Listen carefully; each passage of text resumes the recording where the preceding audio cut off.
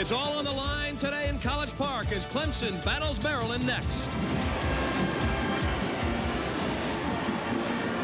The Clemson Tigers getting set to enter Byrd Stadium, and here they come, led by their head coach, Danny Ford.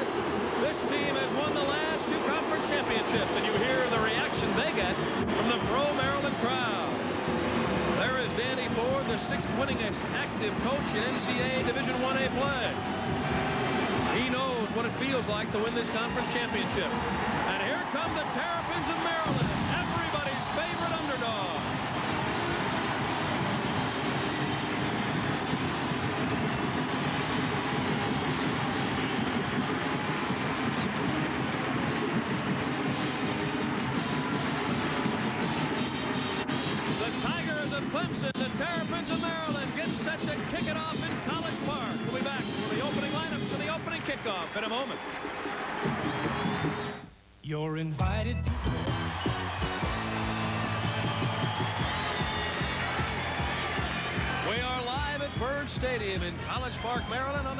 campus of the University of Maryland.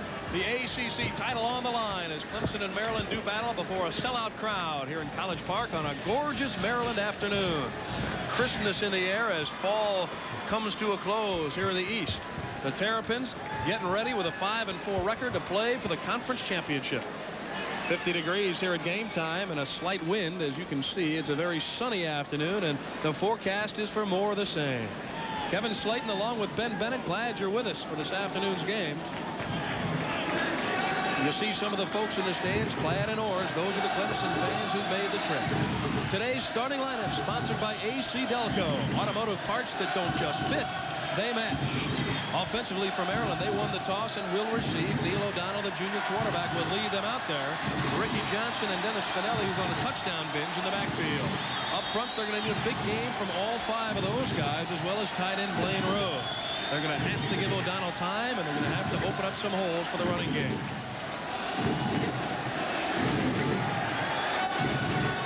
The Terps will be dressed in black jerseys and red pants, one of the numerous uniform combinations that they employ during the course of the season. Ricky Johnson has dropped deep along with Brent Lowry. As you look at Rusty Sile, he gets set to kick it off.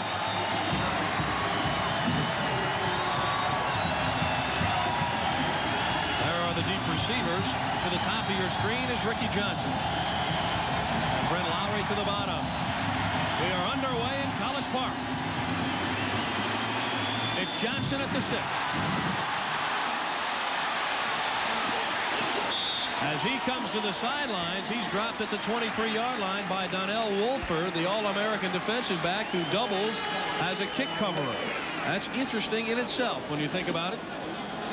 Danny Ford likes to have his best out there at all times. There is O'Donnell, as I mentioned, the junior quarterback, third in passing efficiency in the conference out of Madison, New Jersey.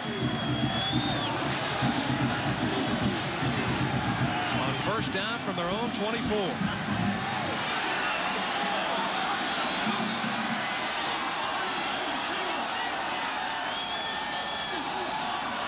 The first play goes to Spinelli straight up the middle for about three or four. Levon Kirkland, number 44, a last-minute starter at linebacker, makes the tackle for the Tigers. Our AC Delco starting defensive lineups for Clemson, Vance Hammond, Mark Drag, and Richard McCullough up front. Mark Drag with 10 sacks. Levon Kirkland, as I mentioned, a late starter at that linebacker spot. Ed McDaniel, the freshman, leads this team in tackles, and that secondary is as good as any in the country, led by the All-American Woolford. Pickup of three, second down and seven. The toss is to Johnson. A hole on the left side. He breaks the tackle, gets near first down yardage up to the 33 before he's finally stopped by Gene Beasley, number 27, out of the secondary. Ricky Johnson with 499 yards rushing coming into the game. He shares duty with Mike Beasley. It's going to be important for both Maryland's running backs to have big days today Neil O'Donnell be able to throw the football effectively. Third and one. These are the kind of plays Maryland will have to convert in order to give themselves a realistic shot at beating Clemson today. They're going to throw it on third and one. There's Joines, and his streak goes to 14 consecutive games in which he has caught at least one pass. Woolford on the coverage, and Ben, it's not often that Woolford gets beat on any type of pass play. This will show you what type of confidence Joe Krivak has in his junior quarterback, Neil O'Donnell. The thing that impresses me the most about Neil O'Donnell is that he makes good decisions. He's got Joines open. He doesn't waste any time. Nice compact delivery and delivers the ball right on the button for the first down. Pickup of nine. First down at their own 42. The Terps on the move. They give it to Johnson. He sidesteps the tackler, gets to about the 45. Mark Drag held on, number 85. Ben, you look at O'Donnell starting a big game, really for the first time in his career. What does it feel like as Joe Krivak looks on to a quarterback in this big of a game? Well, there's a lot of butterflies that go on before the game. But once you get on the field, I know Neil O'Donnell feels this way. He wouldn't he wouldn't rather be anyplace else. He really likes to be in this type of situation because he feels like he can come out on top. Second and seven after Johnson got three. They're at their own 45. First quarter, no score. First possession of the game. O'Donnell will throw it. Here comes a blitz. He has time. There's Johnson trying to cut between two linebackers. Kirkland was the first to hit him, number 44. And he got some help from Jesse Hatcher, the bandit linebacker, number 55, as he gets to midfield about two or three yards shy of the first down. 49, I spoke earlier about Neil O'Donnell making good decisions. He initially on that play wanted his tight end down the middle of the field. When he got hung up, O'Donnell had the presence of mind to come off and hit the underneath man for a good game. Third and three from their own 49. They threw on third and one. Let's see what they do here. Inside to Spinelli, straight up the middle. He's going to be close. Hatcher, number 55, got him first and was joined by Mariable, number 56. He crossed midfield, and they're going to measure. What a great story Dorian Mariable is on the evening of the spring game last year, he was in a car accident and partially went through the windshield of his car, injuring his neck and his shoulder. He came back, worked as hard as you could possibly work in the offseason once he was rehabilitated, and look what he's doing now.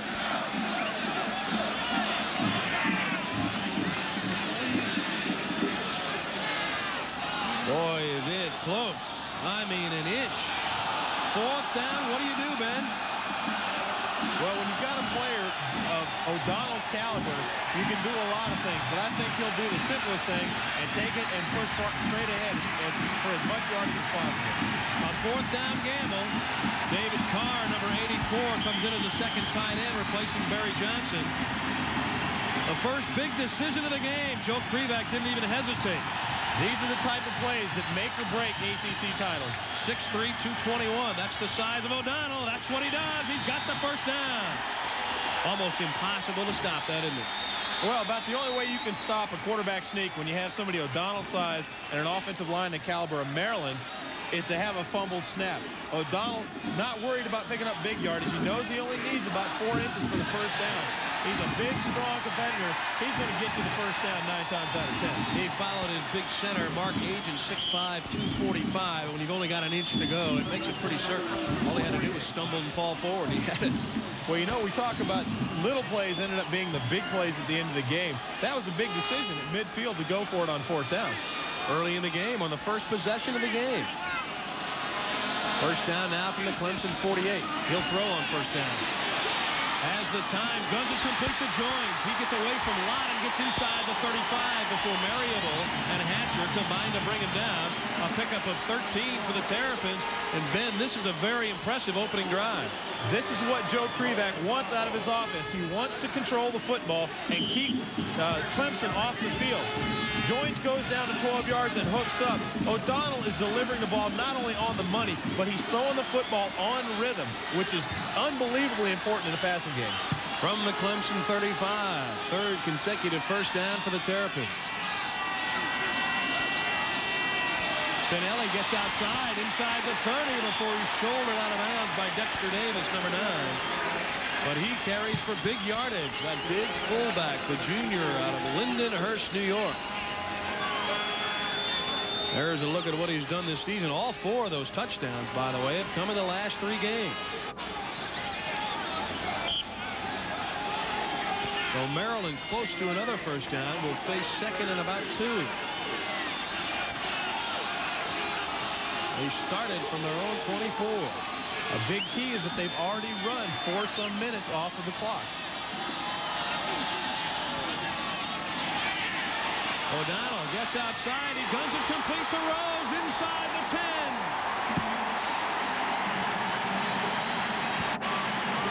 Gene Beasley saved the touchdown, 21 yards. Maryland is mixing it up very, very well right now and keeping Clemson off balance. O'Donnell is good on the run as he is in the pocket. Hits his tight end, Blaine Rose, wide open for a big game. And the key to the whole thing is that O'Donnell has been right on the money.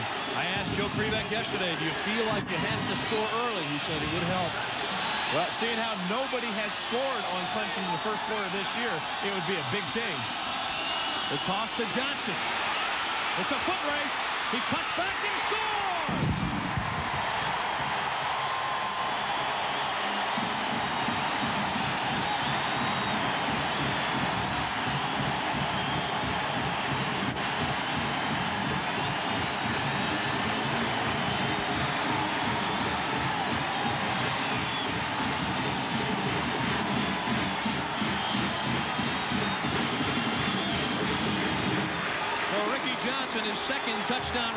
Season. As Ben mentioned, first time all year Clemson's been scored on in the first quarter. You can tack this one on because it's automatic. Plocki's 88 for 88 in his career. And there's number 89. 7 to nothing the Terps before a rocking sellout house here at Byrd Stadium. Another look at the score. Emotion is such a big part of college football. You can see Maryland is fired up. This is a lot of individual effort on the part of Ricky Johnson. He gets the football into the end zone. It's the first time this year that Clemson has been scored on in the first quarter. 10-15 remaining in the first quarter. Maryland jumps out to the early lead. We'll come back to Byrd Stadium for more ACC action in a moment.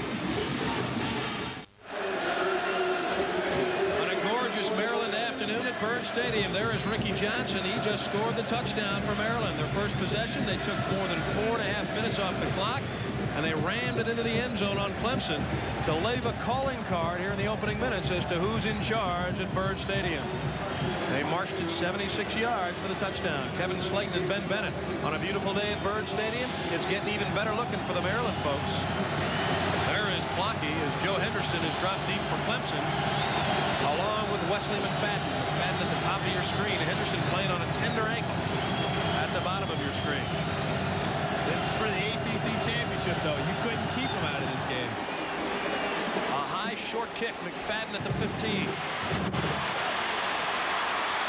Dragged down as he crossed the 30 by Darren Drozdov. Number 91, a 17-yard return. Today's starting lineup sponsored by AC Delco. Automotive parts that don't just fit, they match. For Clemson offensively, these parts have matched all year. Williams at quarterback, Allen at tailback. And look for the bull, Tracy Johnson, to carry the ball more today up the middle because the Clemson coaching staff feels that with this offensive line that you see there, they can open up some holes against a soft Maryland interior. Flags fly before the first snap. Nunemacher, a little anxious to hit somebody. I don't blame him. If I were 6'2 and 290, I'd be anxious to hit somebody too. Especially after you sit on the bench chomping at the bit for four and a half minutes. Which Clemson had to do as they watched Maryland drive it 76 yards and jam it into the end zone. Kevin, they didn't do anything wrong, Ben. That's absolutely the, the case. Maryland's going to need to do that all afternoon long. They're going to need to execute flawlessly and keep Clemson's top, up top of the nation turnover ratio down. I want to apologize for those of you who are without audio for the first minute or so of the telecast. We have that problem corrected. I hope you'll hear us the rest of the day. Here's Allen. Short yardage. Warren Powers, number 90 in black. It's always interesting to see as we take another look at our AC Delco starting defensive lineups for the Terps. Always interesting, Ben, to see how long emotion can carry a team. So far, it's sustained itself pretty well for the Terrapins. The crowd is going to play a big factor in this game before it's all over. Second and 13. In motion, Gary Cooper. He's their big play guy, and he just entered the game. There's Jennings. and he cannot slip the tackle on the side and gets to about the 40. Nice tackle by Irvin Smith because size-wise, that's a mismatch, an 11-yard pickup for Jennings, and his streak remains intact now. That's 14 straight games for him with at least one pass. Talk about the size mismatch. Keith Jennings is going to mismatch just about every defensive back in the country. This guy is 6'4", 235 pounds. He's a load to bring down. There's Rodney Williams, the quarterback out of Columbia, South Carolina. He faces third and two.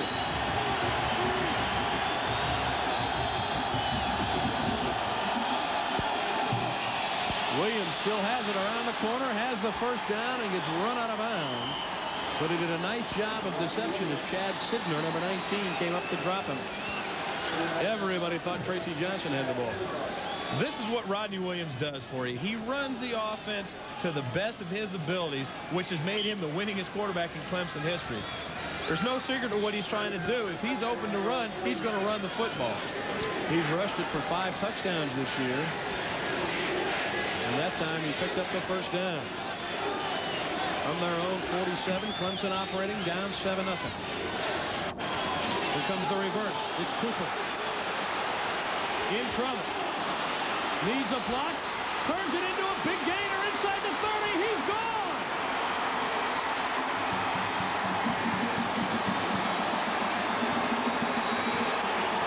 Fifty-two yards. I said he was a big play guy.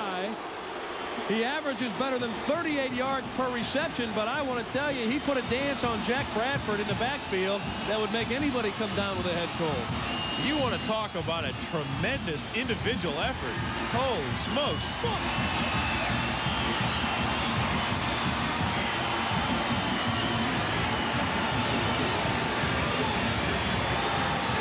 Well, we knew this game would be exciting. Sile comes on for the conversion. But we didn't think that each team would open up with touchdown salvos against each other with 8.39 left in the first quarter. We're all tied at seven after that electrifying 52-yard run by Gary Cooper. You want to talk about an individual effort. Watch what Gary Cooper does on this play. Watch him avoid people, cut back, use his blockers, and use his speed to get away from everybody. This is a thing of beauty. He nearly celebrated too soon. So for Cooper, a big touchdown run. That ties the game at seven. We'll return to Byrd Stadium for more ACC football with a conference championship on the line in a moment. Back live at Byrd Stadium after a visit from Spuds MacKenzie and the Spudettes here. I tell you, everybody's here today. This is a happening in Clemson and Maryland playing for the ACC title. There's the drive for Clemson that got them even. Didn't take long. Of course, it doesn't take long when you got a run like Cooper made. You know, I was talking to Joe Krivak yesterday, Ben, and he said he was going to preach to his players on the Maryland side that somebody has to make a big play because Clemson doesn't give up many touchdowns, so you have to make big plays. Well, it happened against him. Bradford had a chance to make a big defensive play, but didn't make it. Well, and Gary Cooper, conversely, made the big play for Clemson. My coach up in Chicago, Terry Moss, always says to our team, Big, great players make big plays in important games. This is about as important as they get. A million dollar payoff and the ACC title. Ricky Johnson at the top of your screen, Lowry at the bottom. Puts his foot into it. He really got it. Coming down to Lowry at the one. Ducks his head and gets to about the 24-yard line. Now you have to wonder, Ben, after that 23-yard return, if that touchdown answering Maryland's score by Clemson will affect the Maryland offense. They were brimming with confidence after scoring early. Well, I don't know if it's going to affect their confidence, but they got to start thinking to themselves now, hey, Clemson can put points on the board in a hurry. We've got to keep our hands on the football and not make mistakes. Joe Krivak, you saw him in your picture, told me yesterday time of possession will be important for his team. Well, they did a good job the first time. Here comes O'Donnell. Pitches back to Johnson. Crosses the 30 to the 35 before he's upended by James Lott, number five, and Dexter Davis, an 11-yard pickup. Well, we haven't seen Mike Beasley yet. It's because of the way Johnson's playing.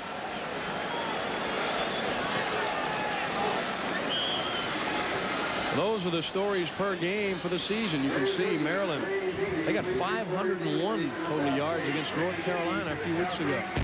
Clemson does it mostly on the ground.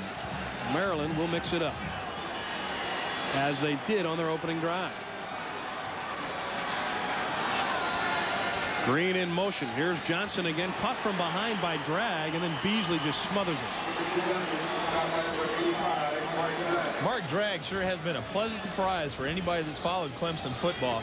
He's come through. We mentioned the 10 sacks at the beginning of the game, but he's just been in on so many big plays this year. To lose him would be a huge loss to this Clemson defense. Maryland will operate now from just across their own 35, second and 10 after no gain on that play. Drag, the senior from Charlotte, anchors the middle of that Clemson defensive front. Again, O'Donnell has time. Now he has to get out of there. He's in trouble. Outruns Kirkland and picks up three or four. Well, for those of you who didn't know Neil O'Donnell could run fast, he outran the linebacker Kirkland to the sideline. This is one of the reasons why Neil O'Donnell has almost rushed for 300 yards this year. When people are covered downfield, he doesn't try to force the ball in. He uses his athletic ability, which is a big, big plus for the Maryland offense, and gets out of trouble and picks up positive yards. How about the block by Clarence Jones, number 74, his left tackle. He drilled the Clemson player to his back. Three wide receivers to the bottom of your screen there. Joines the nearest to us, then Green, and then Johnson. O'Donnell has time for Joines. It was a little late getting there, and that allowed Dexter Davis to come in and knock it away. I spoke earlier in the telecast that Neil O'Donnell was throwing the football on rhythm. You can see at the end of his drop, Neil O'Donnell kind of hesitates a little bit and double clutches the ball, which gives Davis the, the opportunity to come in at the last second and knock the football away. Those cornerbacks for Clemson are mighty good. Woolford and Davis. Woolford drops deep to receive the punt from the Armas. The left-footed Maryland punter hangs it high. Fair catch call for by Woolford. Boy, he had trouble finally zeroing in on that one and takes it at about the 17 after a 43-yard punt. So with 7.06 left in the first half, we're tied at 7 with the ACC championship on the line.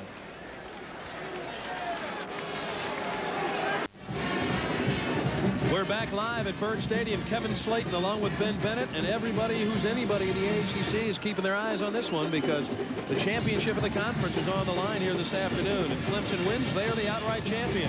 If Maryland wins, they have everything going for them. All they would have to do is defeat Virginia next week, and they would be the champions of the conference.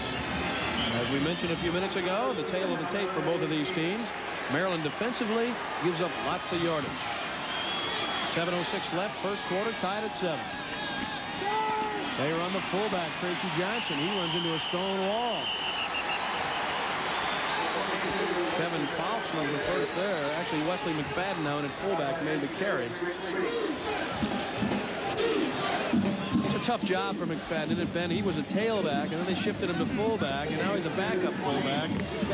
It's tough to get in there and play as well after all of those changes. Well, the thing that the Maryland or that the Clemson offensive coaches were so pleased with is that he's an unselfish player and made a very graceful transition from tailback to fullback. Pickup of two, second and eight. Cooper, number 25 in the game again, wide to the top of your screen. Williams pitches back for Allen. Knocked out of bounds near the 30. He's very close to the first down. Chad Sidner, number 19, came up to bump the conference's leading rusher out of bounds. And I tell you one of the big keys for Clemson, in addition to the fact that their wide receivers can make great runs on reverses, they block as well as any receivers I've seen anywhere. They get downfield and they get on defensive backs. If Clemson's backs pop through the line and those defensive backs are occupied, it makes for a lot bigger gain. They're going to measure to see if Allen was able to pick it up. He came into this game needing just 44 yards for a 1,000-yard season. The only sophomore in Clemson history to rush for a 1,000 yards. But he got the first down. He leads the conference in rushing. He averages six yards a crash. That's pretty hefty number. Well, I tell you, the amazing thing about what he did last weekend, his longest run was 16 yards, but he had six, or actually 24 yards, but he had 16 carries of six yards or more. That's consistent, isn't it? It may not be a world's record, but that's a heck of an average. First down Clemson, 6.21 left in the first quarter, all tied at 7. Sellout crowd at Byrd Stadium on a gorgeous afternoon. Williams, the pass on first down, lost it outside. He's got Hooper, and Hooper is up to the 38-yard line before Fouts can drop him a 9-yard pickup. Ricardo Hooper, number 26. Gary Cooper, number 25. So far, we've seen both quarterbacks execute everything that they've tried today. Rodney Williams right on the button, delivers the football right where Hooper can get his hands on the football and turn upfield.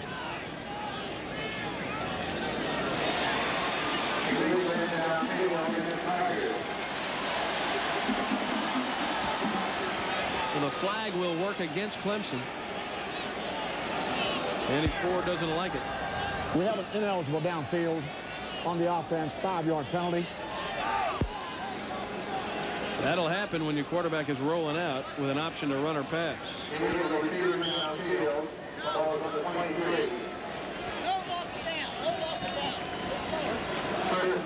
It'll be first and 15. Didn't look real happy with that call, did he? No, he's not happy. Well, you know, Danny Ford is normally very laid back, but he's an extreme perfectionist. He wants the best out of his club.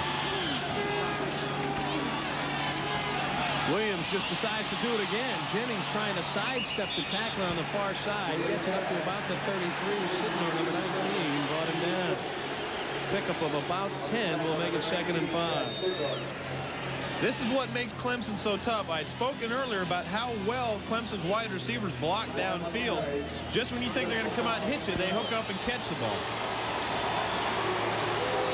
Very difficult to defend. And now a flag working against Maryland. We have a dead ball foul. Late hit on the defense. It's 15-yard penalty. First down. So that personal foul does not bring a smile to the face of Joe Krivak. First two penalties here. Well, you know, coaches don't mind mistakes of aggression, but they do really get upset at mental errors, and that's what that was.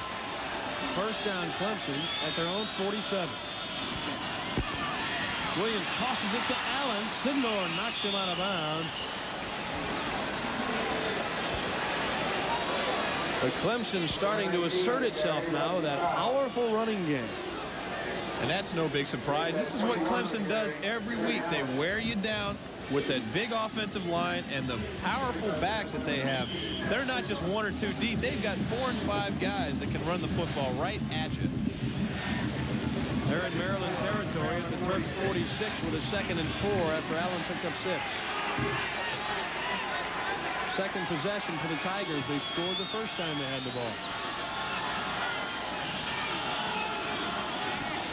The tosses to Allen. He makes a move at the line of scrimmage and ducks inside the 40 before Rick Fleece, number 96, can chase him down from behind. But that is another Clemson first down. What Terry Allen does for you is he does everything right. He's not spectacular, but boy, I tell you what, you watch what he does throughout the game. He covers the ball when he's in traffic. He gets his shoulder square, and he runs north and south. There's no wasted motion when Terry Allen gets his hands on the football. Maryland trying to win here in Byrd Stadium for the first time since 1980, or Clemson, I should say. They haven't won here since 1980. They won in Baltimore, but not in this stadium as McFadden carries for short yardage. Gets near the 37-yard line before Matt D'Amico and Larry Webster bring him down. So it's been a drought for the Tigers here on this playing surface. I don't think Danny Ford's not aware of it. You know, should Clemson win today and win their AC, their third consecutive ACC title, it'll only be the fourth time in the history of the league that a team has done that. They look at second down and seven now. Might be a passing down for most teams, but not for Clemson. That time they were waiting for him. Good job from Mark Walsh, number 42, the junior out of Belleville, New Jersey. He was ready for Terry Allen, and they had the option defense very well. Walsh did a great job of playing off the block of number 59, Jeb Flesch. Got himself into Terry Allen's line of sight and disrupted the entire play.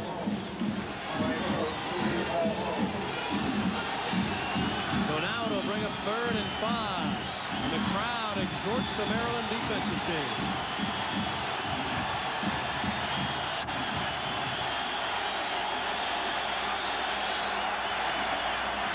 Williams has it deflected as he's trying to hit Jennings. I'm not sure who got a hand on it. It may have been D'Amico. But whoever it was did what Joe Krivak told me yesterday. Somebody has to make a big play for us. And that was a big play. And Although it's still early in the first quarter and there's plenty of time left in the game, the little plays like that, just a little, little play by getting your hands up, can turn out to be a big, big play in the ballgame. Gardocki on for the field goal attempt of 51 yards. One of four from this distance. That was a 52-yarder last week. He's got it on target. And he drills it through there. So Chris Gardocki, they weren't even sure he'd be the kicker when the season started. He nails a 51-yarder to give Clemson a 10-7 lead. So on each of their first two possessions, the Tigers have scored. And with 3.25 left in the quarter, they enjoy a three-point lead. We'll be back with more ACC action in a moment.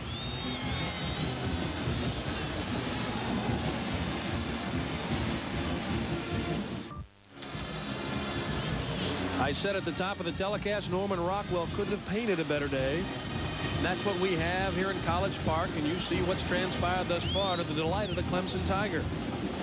10-7, Clemson in the lead. That was the last scoring drive by the Tigers, culminating in that 51-yard field goal by Gardocki. Maryland took the opening kickoff, drove 76 yards to a touchdown on a run by Ricky Johnson of 70 yards. But it was that Gary Cooper 52-yard end around that got Clemson back in. And Ben, you remember a week ago they were struggling against North Carolina, and it took an end around pass to Cooper of better than 50 yards that got Clemson going there. Well, a lot of people call those trick plays or, or, you know, gadget plays. But when you run the football as effectively as Clemson does, it causes the other team to commit a lot of players to trying to stop that. And that's what makes you susceptible to the to the reverses and to the halfback passes. Sile will kick off. Saw the two deep men, Johnson and Lowry. A high kick. This time it's Lowry at the six. He runs head on to a Clemson tackler, and I mean, he got busted by Wayne Harps, number 16. 16-yard return. He looked for a moment as though Lowry had some room, but he ran into Harps, and I mean, he didn't go any further. I'm going to tell you, that was a shot right there. It was like he ran into a wall. That they one- just both stopped moving. That one hurt all the way up here. Harps is laughing about it. Didn't hurt him. He was the giver. Yeah, I do it every day, is what he's telling him. Beasley in their tailback, number one. His first appearance of the day, and look out. Hatcher has him and knocks him down. Jesse Hatcher, with his fifth sack of the season, was not fooled by that fake to Beasley. The bandit linebacker, Jesse Hatcher. O'Donnell's making the fake and trying to get outside. He did this earlier, and Hatcher was fooled. This time, Hatcher will have none of that. A loss of eight. You look at Hatcher, just 210 pounds. O'Donnell's bigger than he is, but he brought him down with an arm tackle. He's strong, 210. Second down now and a long 17, call it. Inside their own 15. Now Maryland has to be careful. They'll run the draw play with Lowry. Levon Kirkland wraps him up on the far side. The freshman out of Lamar, South Carolina.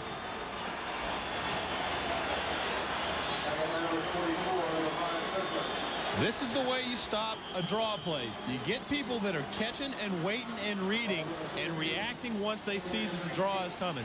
Had that not been a draw, Clemson wouldn't have had a great pass rush. But then again, Maryland is in second and long, and they didn't need a great pass rush. They'll operate from their own 13 on third and 19. O'Donnell runs the draw to Beasley. He stumbles as he gets close to the 15. And the Terps are going to have to punt it, and the Bluebirds make their presence known. They're not wild about the play selection. Of course, everybody in the stands wants to see O'Donnell throw the football, but it's very good play calling on the part of Joe Krivak. He's only down three points. He's down in his own end of the field. You don't want to take a chance on turning the football over. The sack on first down really hurt. DeArmas will kick. Woolford is deep. He needs to boom one here, and he hangs it up pretty high. Woolford from his 45 going to try to return it. He's a dangerous return man. If he can get outside, but a great tackle by Mike Thomas, number five, after a 40-yard punt, and that keeps Woolford from returning it at all. This is probably the loneliest job in sports, returning punts. Donnell Woolford, although, is one of the best in the country this year. Unfortunately, when you're going against a team that's fired up, makes it very difficult for you to find any kind of running room critical series for the Maryland defensive team. If you look at Thomas, who made that play. They need to get some confidence defensively. Williams dropping back. Guns it the other way and overthrows Hooper. What happened, he was looking for Cooper, but Sidner did a great job of bumping Cooper as he came out and didn't let him get past him. If he misses him, it's six the other way. Boston College threatening to upset the Orangemen. Georgia Tech out in front of Wake Forest in the second quarter. The Hawkeyes trying to keep their bull hopes alive, lead Ohio State, and that one is scoreless at Mississippi State in the first quarter. Second and 10 for Clemson.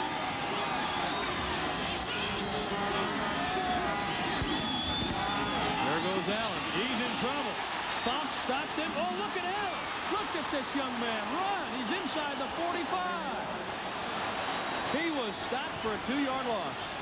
I'm going to tell you, I said earlier, great players make big plays in big games. This is the biggest they come. Watch the effort by Terry Allen. For all intents and purposes, this should have been a loss of two yards. Look at Allen's individual effort. You can't coach desire. And let me tell you, this kid is overflowing with desire. You saw on the top of the telecast the short touchdown run he made last week that was nothing but effort after he was hit three or four times. Same situation there. He keeps the legs turning and just will not go down. From the 44 of Maryland. They run Tracy Johnson up the middle. He gets a couple before Warren Powers drops him. You know, people always ask when they watch football games, you know, why do they always try to run the football up in the middle? It never goes for any yards. Well, you've got to keep the middle of the defense honest because if you don't ever give it to your fullback, the linebackers are going to flow outside and stuff up your outside running game. Probably won't get another playoff here in the first quarter as it now comes to an end. So an exciting 15 minutes of ACC football comes to an end here in Byrd Stadium with Clemson on top of Maryland 10-7. We'll return to College Park, Maryland for more ACC football in a moment. Well, when you run the option, you've got to have a quarterback that's not afraid to turn up and put his head down. And Rodney Williams has done that for Clemson for four years. Another third and five facing Rodney. Three wide receivers in there. Davis, number seven, comes in. They'll run it with Allen. Warren Powers gets him short of the first down. Boy, he was holding on because, as you've mentioned, and as we've seen today, Allen fights for that extra yardage. But Powers, the senior out of Baltimore, did a great job to keep him short of the first down. Well, this will show you what kind of confidence Danny Ford has in his offensive line and in Terry Allen. On third and five, it's almost a definite passing situation for most teams. When you've got Terry Allen in your backfield, you have confidence that he can pick up that five yards. 35-yard field goal attempt by Gardocki. He's 5 of 7 from this distance, included a 51-yarder earlier today. Oh, he hooked this one badly. And that gets this crowd back into it. A sellout crowd on their feet now as Maryland's defense holds. 11.47 left in the half. We'll be back after this message and a word from your local ACC station. Nowhere does the story from the penthouse to the outhouse go as quickly as in college football for a kicker. You saw Chris Gardocki kick a 51-yarder earlier who just now hooked the 35-yarder very badly. So Clemson leads it by three with 11.47 remaining in the first half. Kevin Slayton and Ben Bennett. Did you order this weather, Ben? I had it, I had it specially booked just for you, Kevin. Well, I appreciate it. It is just picture perfect today here in College Park. I'll send you a bill. Maryland leads it or trails at 10-7 after leading 7-0 early. Haven't been able to score since. O'Donnell back to the air. Barry Johnson at the 30. He falls about a foot shy of the first down. This is what they did successfully on that opening drive in which they scored and took the early lead. Clemson's defense has dominated them since. We talked about rhythm. You can see O'Donnell sets up, lets the ball go right as he comes forward and puts it on the money. Johnson stumbles coming out of his break, but he still picks up nine yards, puts Maryland in a very good position. Johnson comes out, two tight ends in there now. Brent Boley comes in at one of the tight ends, number 83. That is he that goes in motion. The toss is to Ricky Johnson. He's in trouble. And like Terry Allen, when it looks like the great backs are caught for a loss, they somehow turn it into a positive game. And he picked up the first down.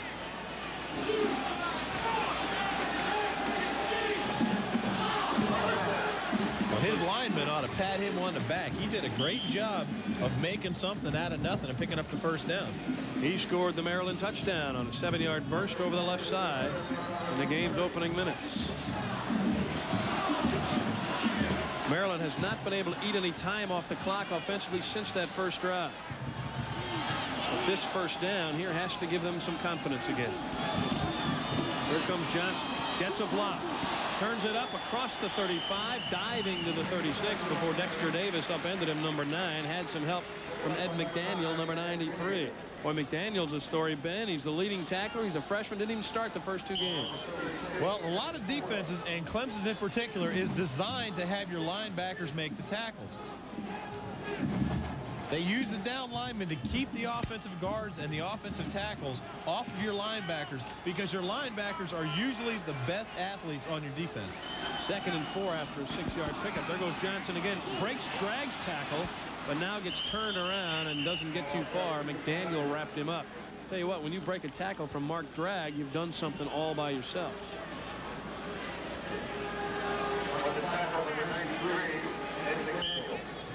If Clemson wins this game, they will be the ACC champions. If Maryland wins, they can wrap up the ACC championship by defeating Virginia next week. So both of these teams control their own destiny, and that's all a coach really can ask for at this stage of the season. Third and three for the Terps. O'Donnell will throw for it. Guns it complete to Johnson. He turns and has the first down and then some. He's in Clemson territory as Lott brings him down. It looked like he brought him down with a fist at the end of the play. Yeah, what you know, in reality, what he's trying to do at the end of the play is he's trying to knock the football out of his hands. We talk about O'Donnell making good decisions. He wanted to go downfield, and at the last second, turn and guns the ball out to Johnson.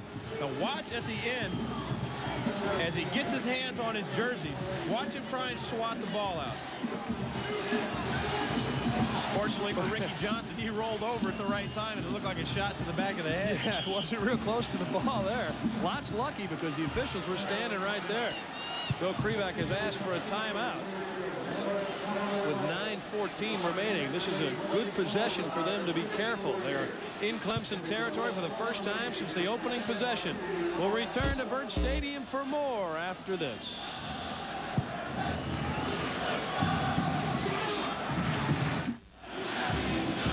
Back live here at College Park, our small liquor student athlete of the week is Mark Bragg, 3.50 grade point in industrial management. A senior out of Charlotte, North Carolina for the Clemson Tigers, our Schlitz Malt student athlete of the week. Congratulations to Mark. He also has 10 sacks. So he's busy in the classroom as well as on the football field. I can promise you, he'd rather be chasing quarterbacks and laying concrete on roads, which is what he did for work this summer. Anybody would rather be chasing quarterbacks than doing that. First down for the Terps. The big fullback Spinelli rolls downfield inside the 35.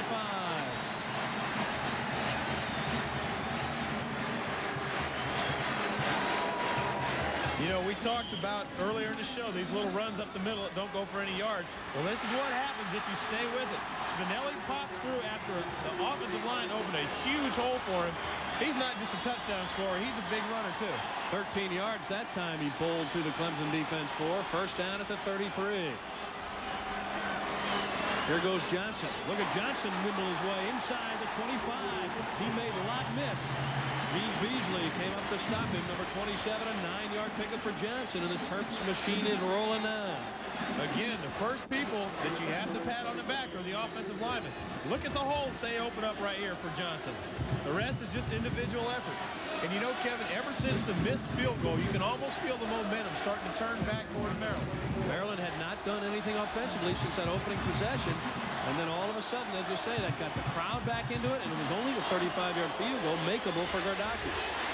O'Donnell guns it for Rose, and he dropped it. Had to turn back the other way to catch it.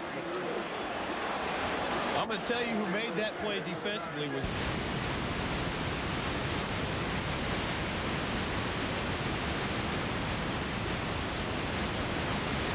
behind the tight end to avoid the interception. So now it is third and one. 8.08 remaining in the first half. Kevin Slayton and Ben Bennett, glad you could join us for this week's ACC Game of the Week with a conference championship at stake. Two tight ends in there for the Terrapins. Flags are down as Johnson appears to have the first down. You that got, play didn't look right from the start. Uh, you got all sorts of Maryland people jumping around. Well, those little mistakes that you talk about each week, Ben.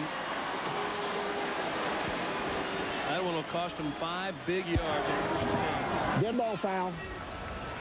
False start on the offense. Five-yard penalty. Watch the left side of Maryland's offensive line. Prior to the snap, you can see the tackle take off. And the tight end kind of jumped a little bit before that. When you're not in sync, you're going to be offsides. And boy, those are the nagging little penalties that really get to you if you're a coach. Now it's third and six. It won't be a big penalty if they can pick up the first down. But if they can't, that will loom large. Watch the tight end on this play.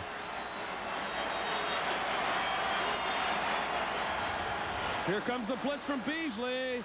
Incomplete. Flags are down. It was a heck of an attempt by Johnson, but the ball popped loose. He fooled one official. One was going to rule it complete, but the other one who had the better view. But the flag appears to be against Clemson.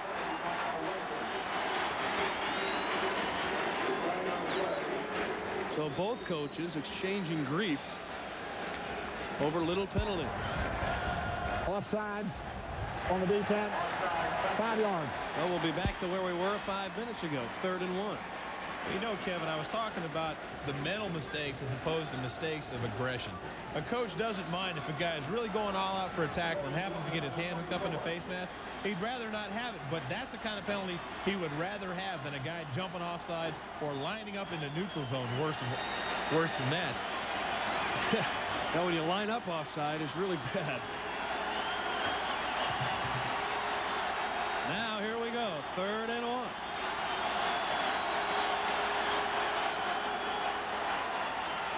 O'Donnell. Oh, he's got a touchdown. There it is to Johnson.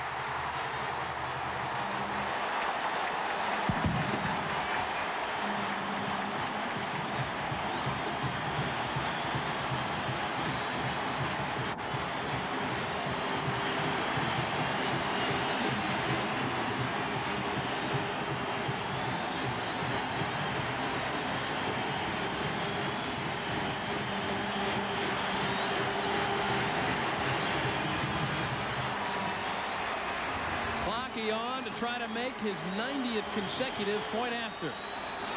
He's 89 of 89 for his career, and he has a perfect 90. And for Johnson, that 24-yard touchdown catch is his second touchdown reception of the year, and it comes out of the old playbook of Bart Starr on third and one.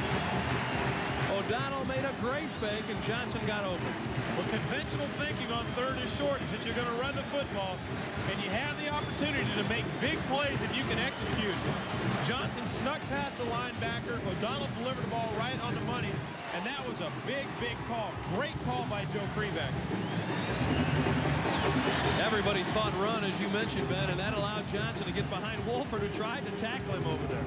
Well, even if he'd been, if he tackled him, it would only have been a penalty and not right. a touchdown. That's what he was trying to do, prevent the touchdown. Seven and a half left in the half. We'll be back in a moment. Well, if you ever wonder about the value of a five-yard penalty, well, it's worth seven points. That's what the penalty cost Clemson here. They had stopped Maryland on third down, and then Maryland got a second chance to threw for the touchdown. Beautiful day here in College Park. Kevin Slayton and Ben Bennett. The Terps have a four-point lead over favored Clemson with 7.38 remaining in the first half. Again, the importance of this game, if Clemson wins, they are the ACC champs. If Maryland wins, they're in the driver's seat. They would have to still beat Virginia next week, but if they did that, they would be the conference champions in a trip to the Florida Citrus Bowl. If they win today, the worst they could do is tie for first place. McFadden was undecided about coming out, and he gets out to the 26. Joel Goody, number 45, able to get down there and bring him down. So Clemson will take over.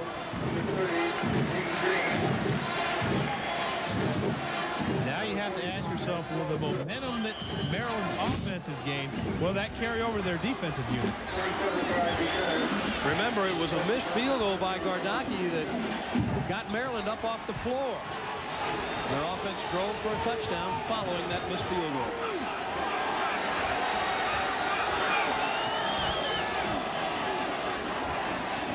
Williams in trouble. Matt D'Amico nearly took his head off. Well, that answers your question, at least for one play, Ben. And again, the crowd is starting to get back into this.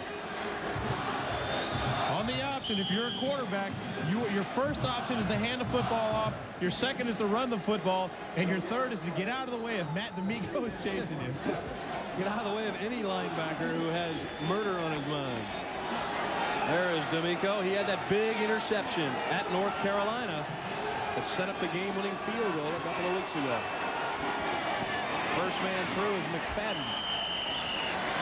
Wesley gets close to the 35, but it will bring up a third down play as D'Amico and Jack Bradford, number 47, combined to bring down the junior out of Chester, South Carolina.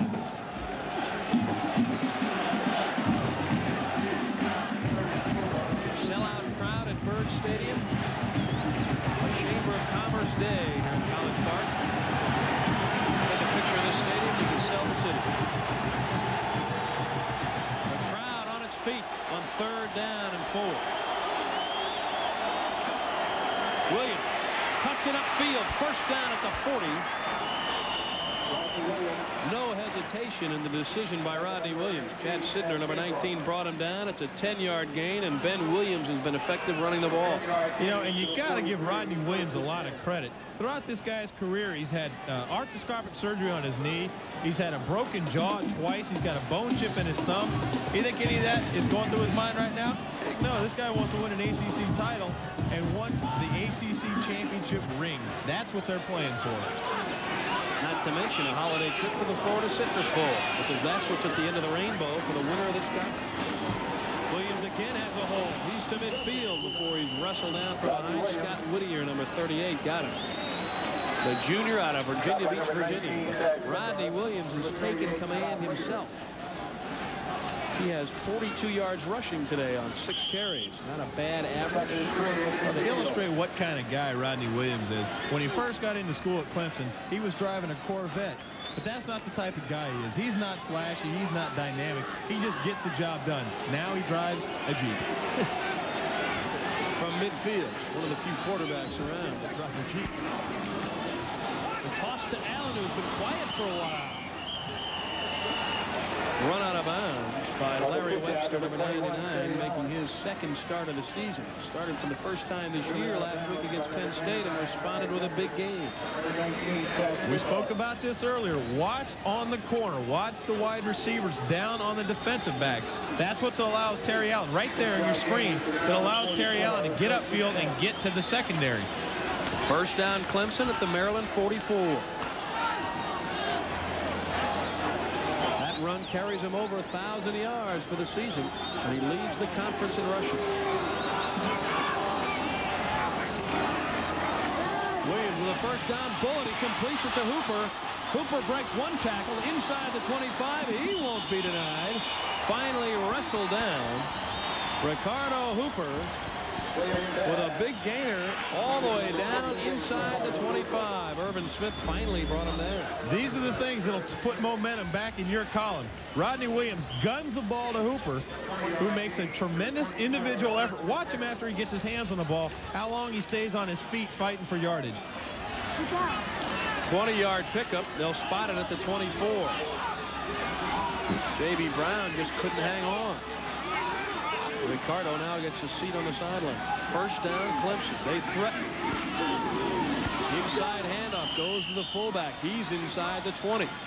So the patented Clemson offense doing what it does best now. Mixing in a pass here and there. McFadden carrying it in. Maryland just took the lead 14-10. They took the opening kickoff and took an early 7-0 lead, but Clemson responded with a touchdown of their own, then a field goal.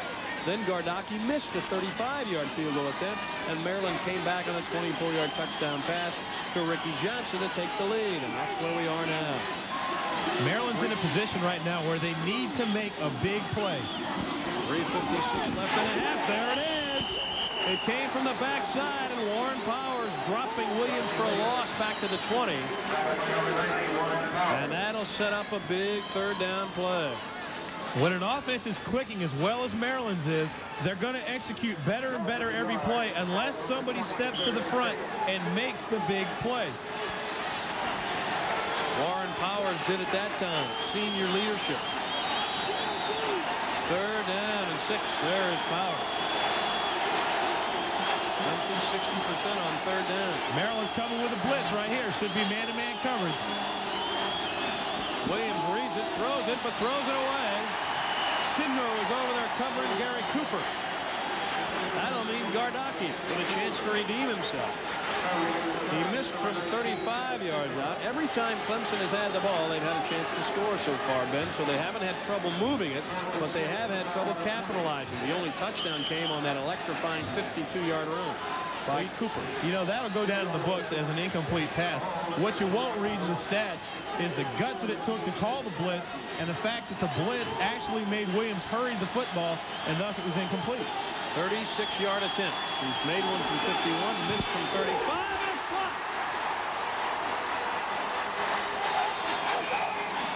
I don't know who got a piece of it, but it may well have been Michael Hollis, number 27. He's the one who's jumping around, and this Maryland crowd is delirious. Interesting call. It could. They're debating about whether to give the ball to Clemson or Maryland right here. I don't understand why. It has to be Maryland ball. Nobody touched it and trying to run with it after the block. They're de debating on where to spot it.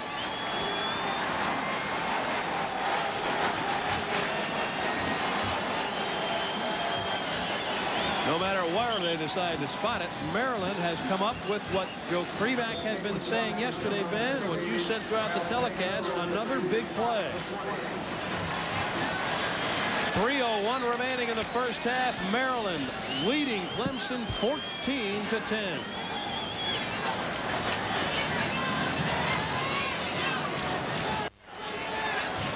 Back live at Byrd Stadium, Maryland will take over at their own 20, first and 10 after blocking that field goal. The word we get from the sidelines is the officials apparently thought the ball went into the end zone after the block and have spotted it as a touchback. That certainly did not happen. The ball was dead at the seven-yard line. So if that's the reasoning, Maryland is going to be the beneficiary of a big break. And what else it does is that it gives Maryland some operating room. We saw earlier in the game when they were down in their own shadow of their own end zone. They were very conservative in their play calling. Now they're out on the 20. They can open it up a little bit more. First down from the 20 now. O'Donnell, 7 of 9 for 96 yards and a touchdown pass. Terrapins with the ball on the lead.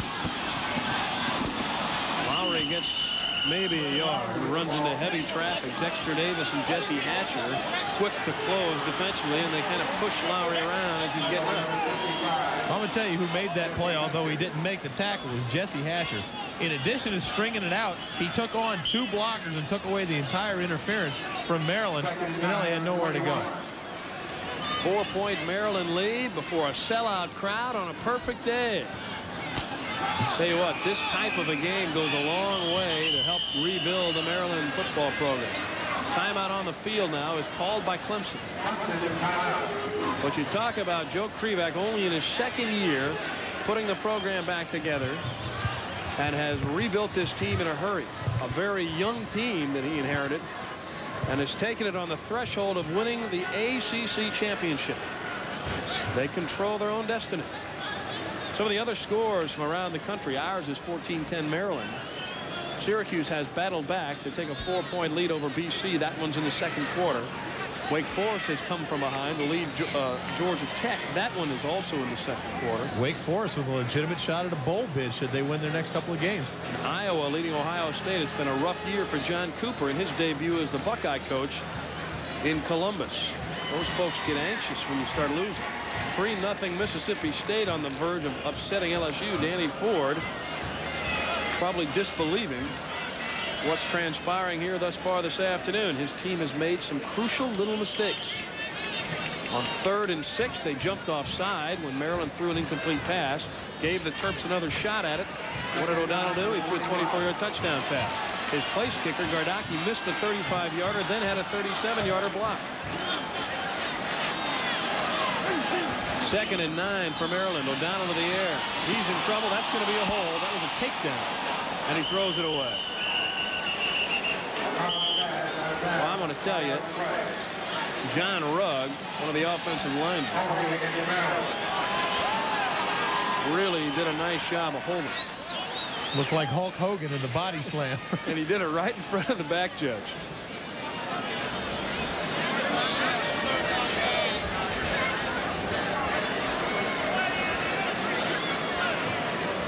Two nineteen remaining in the half.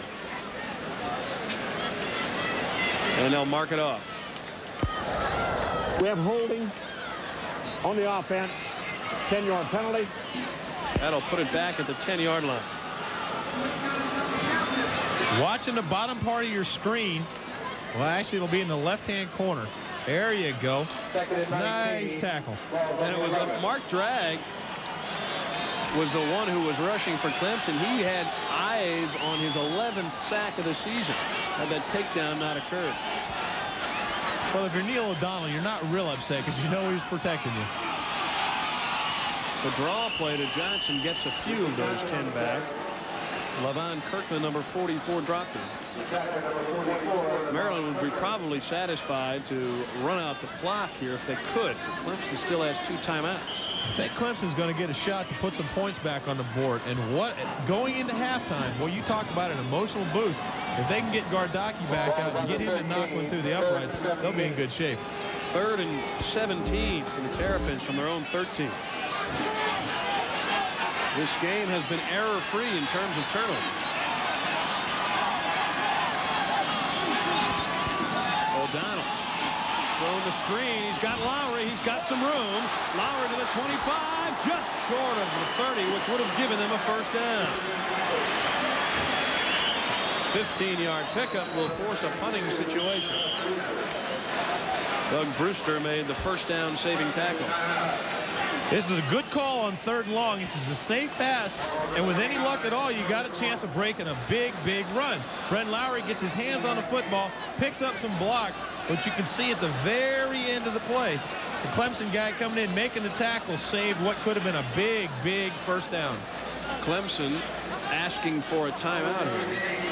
They are down to one timeout with a minute 24 left in the half. Maryland's punting team huddled around Joe Krivak. He doesn't want any mistakes. Don't forget to stay with us at halftime. We'll take a look around the league at what happened in the ACC a week ago. Then we'll, as always, have one for the books. We'll be looking at Randy White. And we'll get you updated on all of the college football action that's taking place around the country today. Our game, 14 to 10. Maryland leading Clemson. DeArmas on to punt. Woolford is deep around his own 34. Tell you what, they didn't miss by much in getting that one, and they allowed him to really touch it off back to the 22, where Woolford has to call a fair catch.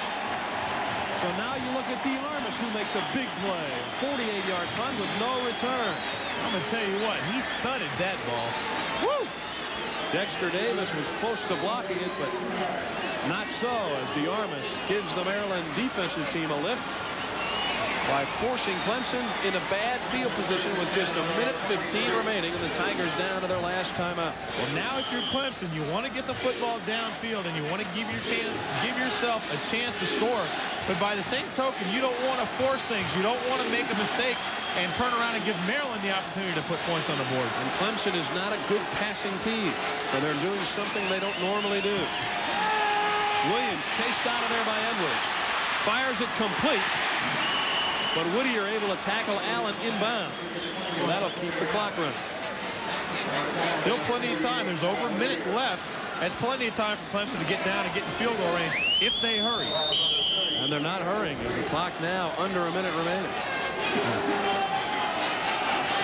They'll snap it with about 45 seconds remaining. Quickly to Jennings, who drops the ball. Now it's third down. Jennings is a little more concerned with getting out of bounds than he was with catching the football. And all you need is just a momentary lapse in concentration, and you'll drop the football.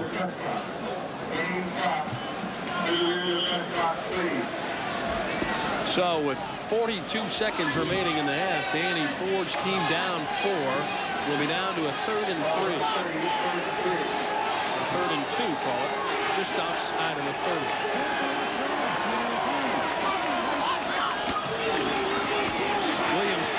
First down at the 35. They keep him inbounds near the 40.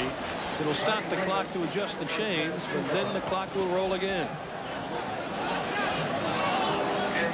They need about 25 more yards to give Gardocki a realistic shot. He's got a powerful leg, however scattered it may be. When Clemson throws the football downfield, they like to go right down the middle. Look for Cooper down the middle chased out of there, completes it to Allen. They'll keep him in bounds, and Clemson's going to be forced maybe to use their final timeout with just 15 seconds. It's a first down, so it momentarily stops the clock.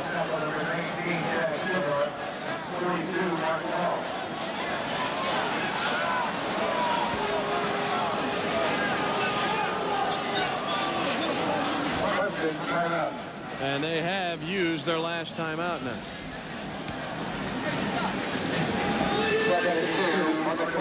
Well, Clemson's going to give it one more shot, I would guess, to try to get Gardocki an opportunity. Well, while we're here, you're looking at a picture of Terry Allen. That brings up the subject. Who do you think is the player of the year in the league this year? It's tough to ignore Terry Allen, who's gone over 1,000 yards, but how about Anthony Dilweg at Duke? The teams have won three consecutive conference titles. The Duke Blue Devils and Bill Murray, Jerry Claiborne, and Bobby Ross both did it at Maryland. Clemson already having won two consecutive ACC titles. Should they win today and win the ACC title outright, they would be this would be their third consecutive. They would be in some elite company. Might mention Clemson was on probation during the portion of that three-year run that Maryland had under Bobby Ross. Each of these teams have won the conference title the last seven years. One of the two have been at the top. Williams down the middle for Allen. Whittier was waiting for him and knocked it loose with 10 seconds remaining in the half. I tell you, Rodney Williams just about got Terry Allen killed. When you're throwing the football downfield, you've got to give your receivers a chance to catch the ball before they get hit. That time, Terry Allen and uh, Scott Whittier arrived at the football at the same time. Williams is 4 out of 10 for 57 yards passing the ball today. We'll go to the air again. Oh, there's Cooper. They've left him alone, the catch inside the 10. With two seconds remaining in the half. Unbelievable. Will they get the field goal team on in time to kick it? Gardocki heading out there in a hurry. They're going to get a shot at it. Now the officials step in and stop the clock, and the crowd boos lustily. Oh, bad snap. He got it up. He got it. What a great, great play. Well, they'll talk about this one. The officials moving in and stopping the clock with two seconds left to allow Clemson to get set. But how Maryland allowed Cooper to get behind everybody is beyond me with 10 seconds remaining. Well, the thing that's amazing is that they had three deep and they were way back. But the key to this play is that Rodney Williams, look at the amount of time he has to throw the football. Nobody's even near him. He gives Cooper a chance to run down the field and then delivers the ball on the money. Watch the catch, too. Turning around backwards and hitting the deck when he caught the ball. That's a great effort. Mr. Cooper, Mr. Big Play. This guy averages better than 30 yards every time he touches. Look at the bad snap. Morocco's able to get it back up on the tee. And Gardocki, who's had an up and down first half, knocks it through there and pulls Clemson to within one. Well, I'm going to tell you how important it is to appreciate your holder. And what a great play that was by Gardocki. Because kickers, when they get just a little bit off rhythm, they tend to push or shank the ball. That time, Gardocki had to stop in the middle of his approach and still managed to get the football through the uprights. Give credit to the Clemson field goal unit that was able to hustle onto the field, too, as soon as they saw Cooper make that catch. Hey, credit to coaches for that. They had those guys ready on the sidelines. So Maryland leads it by one at halftime. Plenty coming up here at halftime. We'll be back after this message and a word from your local ACC station.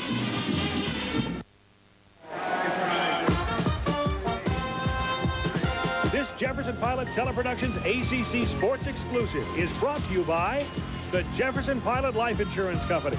For insurance and financial services, better call JP. By Coors, the original draft beer in bottles and cans. Coors, the original. By the airline of ACC country, Delta. We love to fly, and it shows. And by Ford and your Ford dealer. Have you driven a Ford lately? Back live at Byrd Stadium on a perfect afternoon for college football. Kevin Slayton and Ben Bennett getting set to start the second half. 14-13, Maryland leading over Clemson. Our Toyota halftime stats, the numbers that you see that I think are the biggest of the last two. Joe Krivak said his team had to keep the football. They've done that, and neither team has made a turnover. And Ben, that's all you can ask of your team at this point. Execution is so key because not only do turnovers give the other team uh, the opportunity to take the ball back down and score, it also puts a big, big psychological edge to the team that gets the turnover. Maryland scored with its opening possession. They drove 76 yards and got in position to score from the seven, and Ricky Johnson did the rest. Watch the cut at the very end leaves two Clemson players in their tracks. That one was before this sellout crowd had even settled into their seats, and Maryland was on the board, and they led 7 to nothing. But Clemson was able to answer that in a hurry on a gadget play, the end around to Gary Cooper. This is a thing of beauty.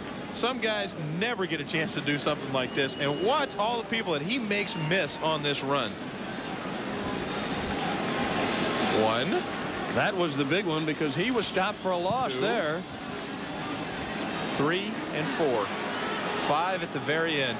Then it was effort. all game-breaking speed, 52 yards to the touchdown. Celebration a little premature, but it paid off nonetheless. That tied it at seven. Clemson took a 10-7 lead. Then Danny Ford's team struggled and sputtered and stopped themselves, really. They drove five times deep into Maryland territory, could only convert on the one touchdown and two field goals, one which came with two seconds left at the end of the half. Joe Krivak's team, on the other hand, crossed midfield only twice, but they scored touchdowns each time. So they have the 14-13 lead, and Plocki will kick off to Clemson as we are set for the second half to begin. Joe Krivak's team on the verge of the ACC title. Joe Henderson is dropped deep along with Wesley McFadden for Clemson. If Clemson wins, they're the ACC champs. If Maryland wins, they clinch a tie for the title and could win it outright with a victory over Virginia next week. We're underway in the second half, and Plocki drives it into the end zone and out. So Clemson will have to start from its own 20.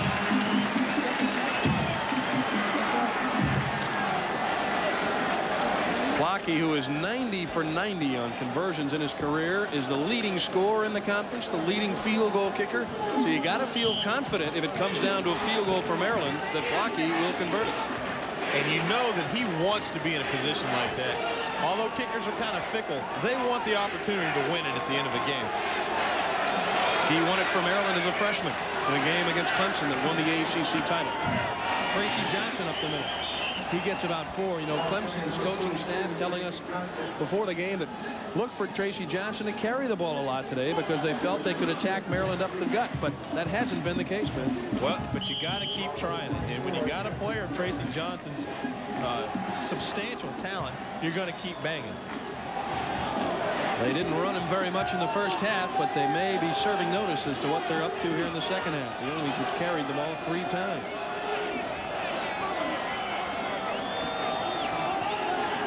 There is Jennings who makes a sliding catch as he falls down at the 32 and gives Clemson a first down. You know, Kevin, we've seen this play about three or four times earlier. All Rodney Williams is, is doing is going down the line. He makes a fake. If Jennings is open, he stands up and drills it. They've run this very successfully, but don't be surprised if later on in the game they run a hook and go where Williams pumps him on the hook and he turns and goes up the sidelines. Jennings has caught three today for 30 yards, keeping alive his consecutive game streak now at 14 with at least one catch. Oh, Johnson met by Larry Webster just as he takes the handoff. Webster, a 270-pound freshman from Elkton, Maryland.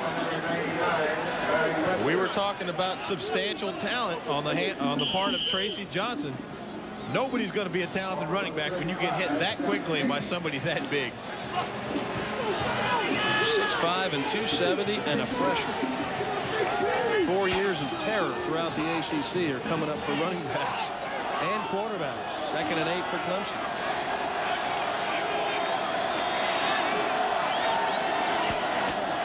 Allen with his first carry of the second half gets around the corner and gets near the 40 before he's knocked out of bounds.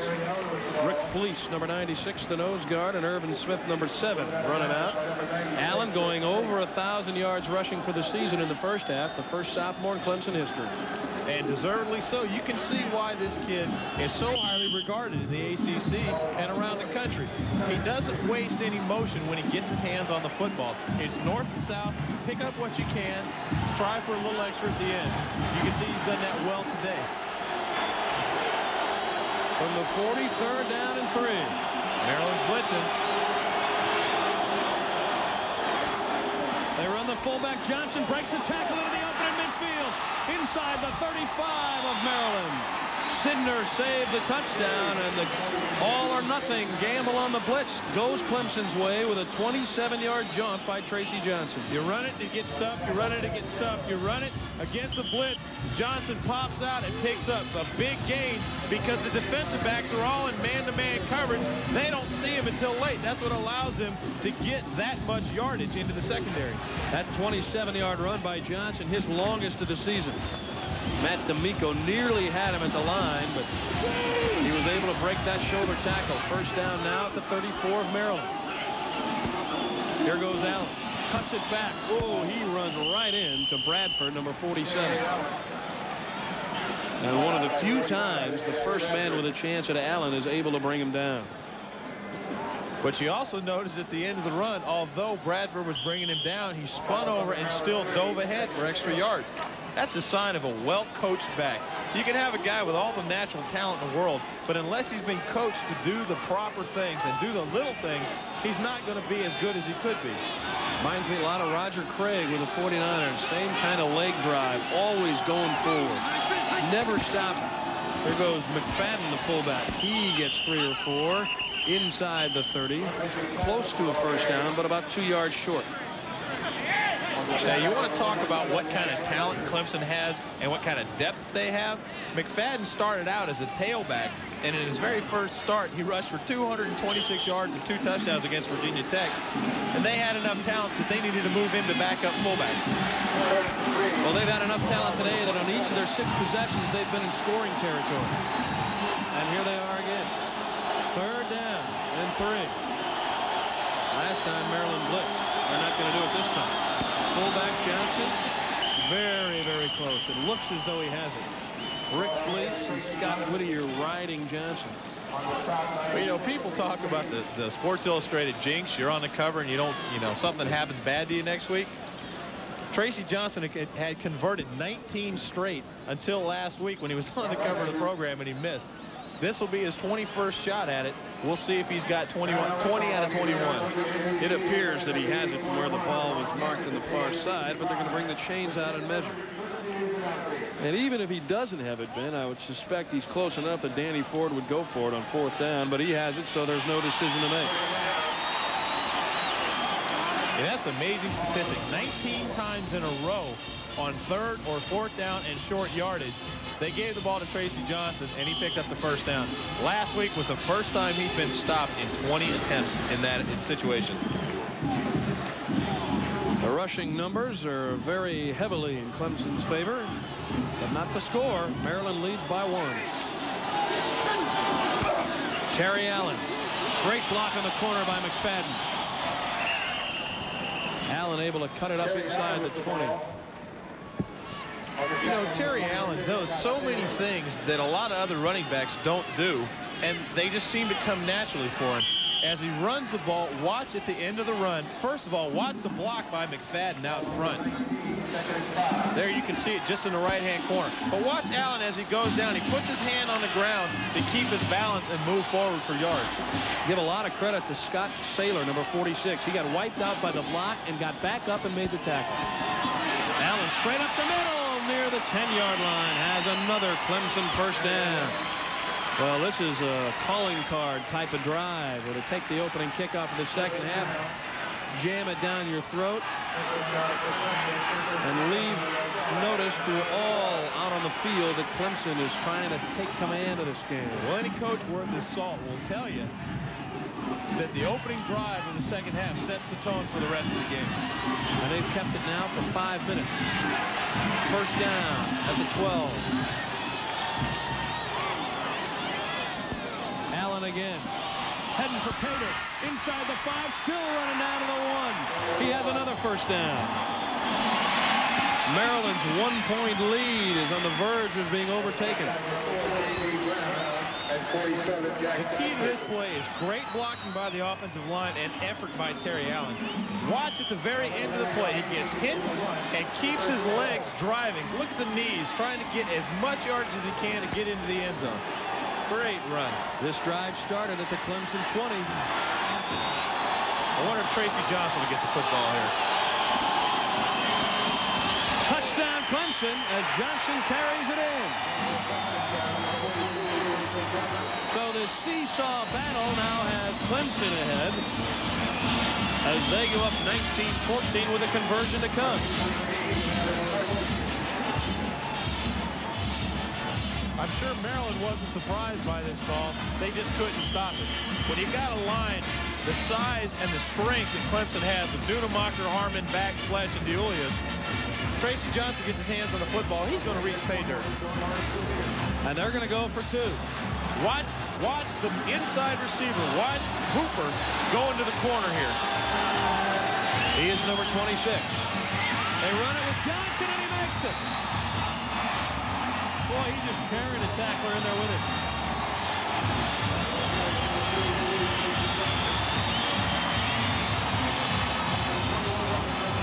This is the touchdown run. Watch Tracy Johnson. When he gets down close, he's going to get his body into the end zone. So what do they do on the extra point? They turn around and give it back to their big bruiser, Tracy Johnson. So he picks up eight points in a hurry. Hey, I tell you what, this shows you what kind of confidence they have in Tracy Johnson and their offensive line. Clemson goes up seven with that conversion, 21-14. We'll be back with more ACC football in a moment.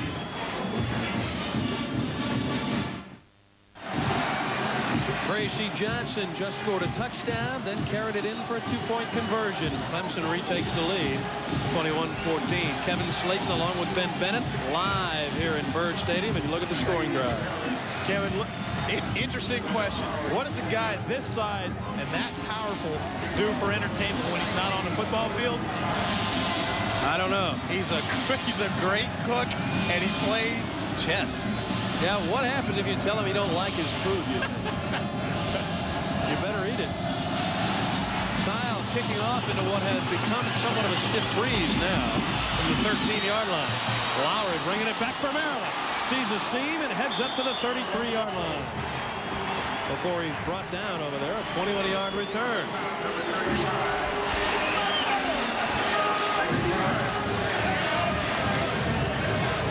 Lowry gets his hands on the football, he ought to take Dennis Spinelli out to lunch. Spinelli was the one who made this, the block downfield that allowed him to get through there. Good run by Lowry gives Maryland good field position. They'll operate from the 33. O'Donnell runs out of the huddle under center. He's anxious to get going. He had to sit for five and a half minutes of this half while Clemson drove the length of the field to score a touchdown. And he's going to keep it himself, but he doesn't get too far. Maybe two before Ed McDaniel, number 93, dropped him. Yeah, I spoke about Neil O'Donnell having almost 300 yards rushing coming into the game. The majority of those yards are not picked up on the option. They don't do the option exclusively like Clemson does. Most of O'Donnell's yards are after he's gone back and hasn't been able to find anybody open downfield and makes himself makes himself scarce to Clemson tacklers moving up into the line. Second and nine after he got one. Big rush, chases him out. Great move. Great move by O'Donnell. He only gets it upfield to about the 37, but I tell you what, he avoided about an eight-yard loss. No sooner said than done. This is what Neil O'Donnell does so well, and it's a, it's a tremendous dimension added to your offense when you have a quarterback of his ability. Again, looking downfield, nobody's open, does a great job to avoid the sack, and then further takes the ball upfield and gains yardage. He can't coach that. That's just great individual effort. Hammond and Kirkland were putting the pressure on him, and it was Jesse Hatcher that brought him down. He spotted at the 38-yard line. He'll bring up a third and six. Quick snap. O'Donnell tucks. He's, he's going to get the first down and then some. He's at the 45 and ducks out of bounds at the 49. The crowd wants a flag as two Clemson players sailing into the Maryland bench trying to get after O'Donnell. Joe Krivak telling the referees that he wants the flag. One of the coaches got knocked to the turf. Watch the entire defense flow to the left side of your screen. O'Donnell's looking that way, pumps the football, and then picks up the yardage. At the end, watch Beasley take a shot. It wasn't a vicious shot. There's no penalty there. Probably should have been a clip, though, because he knocked one of the coaches down from behind. From the 48-yard line. O'Donnell's Maryland Terrapins with a first down. The toss to Ricky Johnson in trouble. Evades one tackler and gets back to the line of scrimmage and maybe even gains a yard. Knifing through there was Vince Taylor, number 58. And although he didn't make the tackle, Vince Taylor was the one who disrupted this play.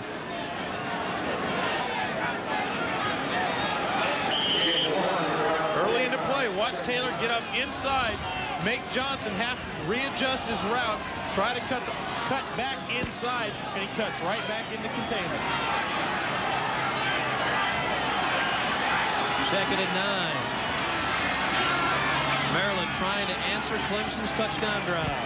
The draw play to Spinelli. He's in Clemson territory. Dropped as he gets to about the 47-yard line. Everybody had a hand in there. Richard McCullough, number 96, was there, as was Mervyn Green, number 99.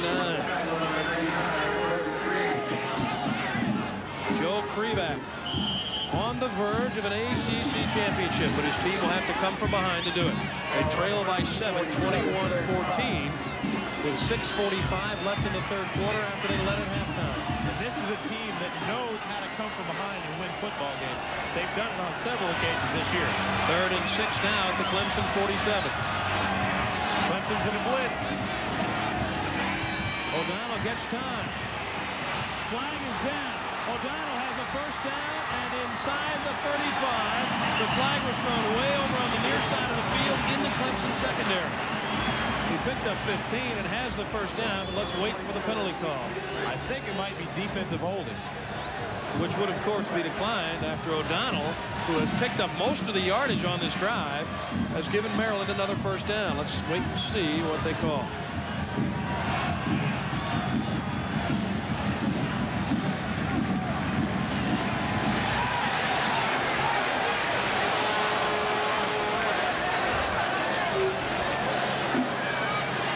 It's taken them a long time to sort it out.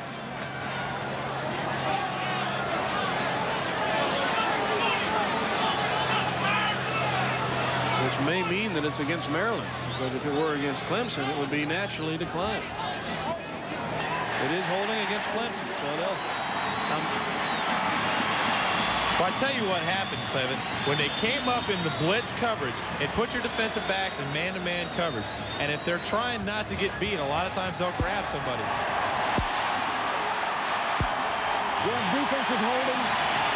10-yard penalty from the end of the run. Whoa, that's what they were talking about.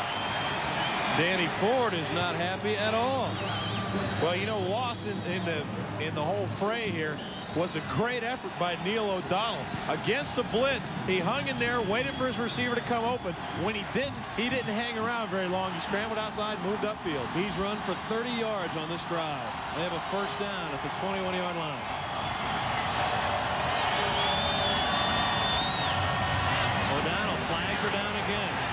Incomplete intended for Spinelli.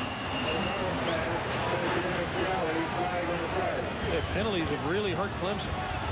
Remember, they allowed Maryland to score a touchdown in the first half after they had stopped them on third down. There was an offside penalty. The next play, Maryland scores. Now look. I think you're going to see another offside penalty here. Danny Ford is screaming. This is a veteran defensive team, but he doesn't expect that kind of mistakes out of. We have the defense. Offside. Five-yard penalty. Still be first down. Well, you know, the, the, the killer about that is that they're not jumping. They're lining up offsides. And he's, Danny Ford, is still screaming at his team. And you certainly can't blame him. That is frustrating as a coach. First and five now for Maryland. That makes it a little easier. The toss back to Ricky Johnson. In trouble. He's in real trouble.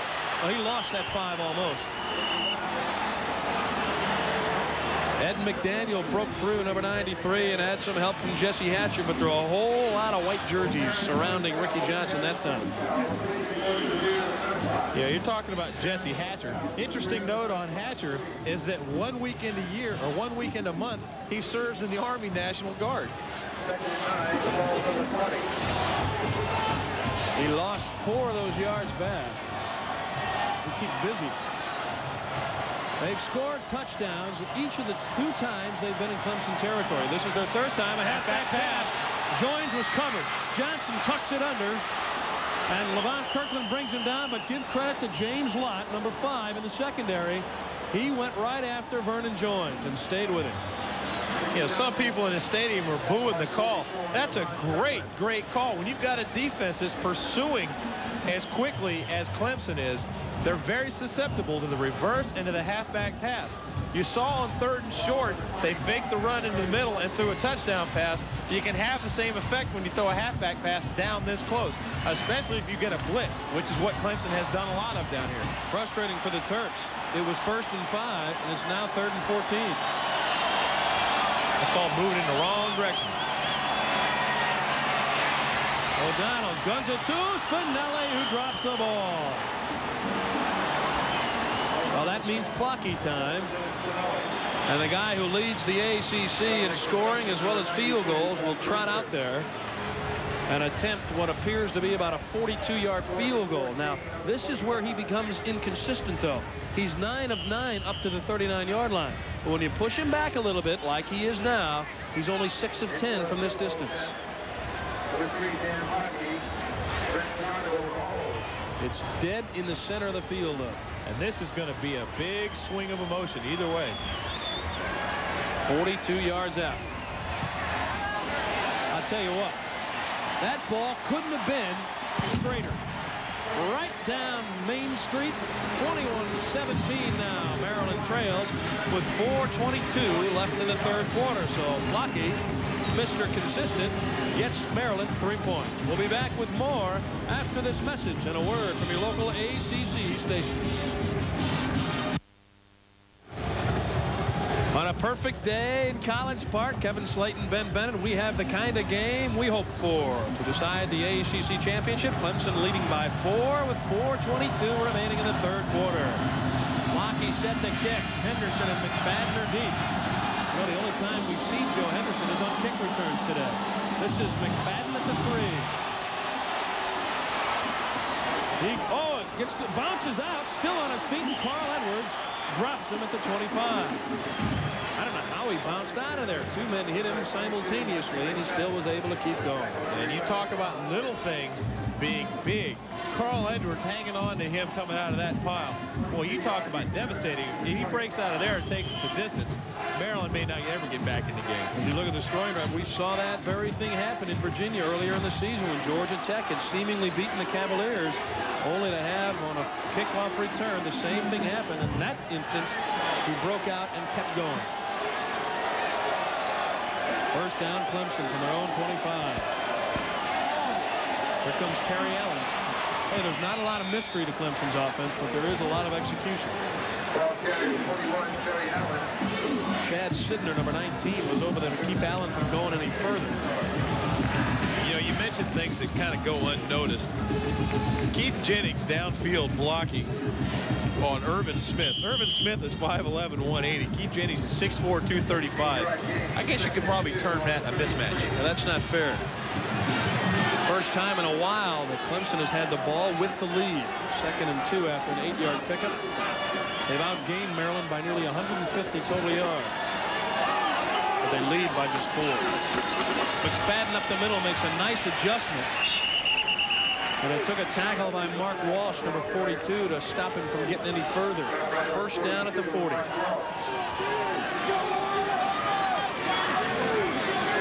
To stop Clemson, you have to get off of the blocks and you have to make their backs run side to side. Maryland is catching the offensive lineman and not attacking. And subsequently, McFadden's picking up some big yards. 3.45 left in the third quarter, and Maryland's defensive team has been on the field nearly the entire period, except for that field goal drive by the Terps.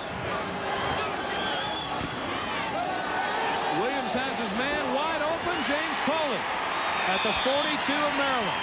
Well, a big tight end, 6'5", 245, just streaked down there. The first time they've thrown to their tight end all day. Like I said earlier, when Clemson throws the football, they like to throw it down the middle.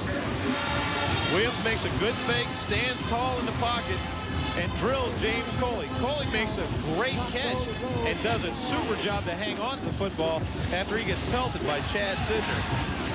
First down at the 42, and Maryland is going to have to stop Clemson somewhere along the line if they're to hang on in this game. Here goes Allen.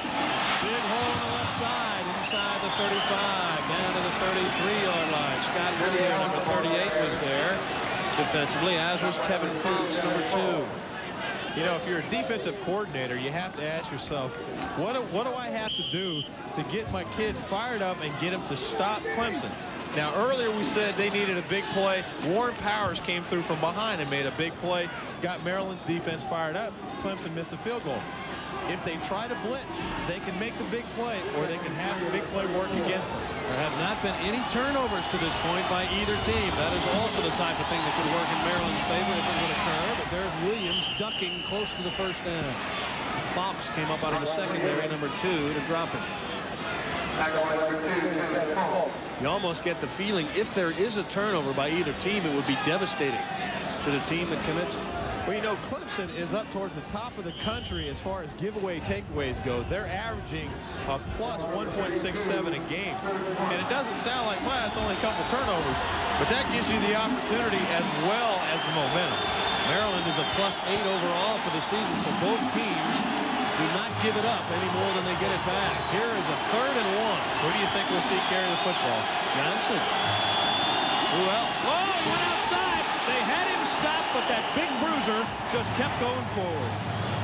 Mark Walsh hit him first, but if they spot it where Johnson ended up, he's got a first down.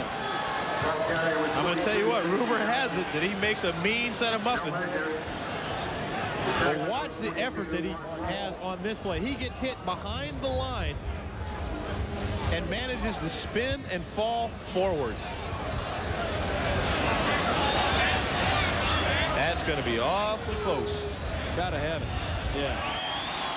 When he fell forward, there was no doubt. So Clemson retains possession with a minute 36 left in the quarter. Big Tracy has done a good job today.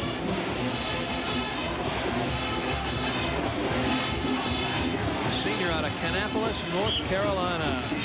More than 30 pounds he packs into those muffins. Well, you know, one of the interesting things is he takes he takes a great deal of pride in his blocking as well as he does his running. First down Tigers from the Terrapin 31. Here goes Allen. Flags fly. Allen dropped as he gets inside the 30. Maryland's defensive team needs all the help it can get. And they're going to get five yards worth of help for an illegal procedure penalty. I would hate to be in the offensive meeting room with Danny Ford come tomorrow.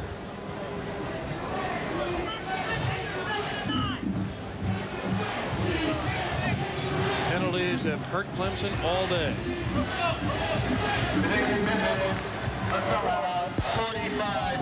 We had illegal procedure on the offense, six men on the line.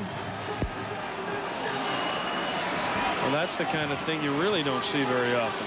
118 left third quarter, four-point Clemson lead. We'll be back to Byrd Stadium after this message and a word from your local ACC stations said earlier, Norman Rockwell couldn't paint a prettier picture. And you look at it here at College Park today on a gorgeous autumn afternoon as Clemson and Maryland play for the ACC Championship.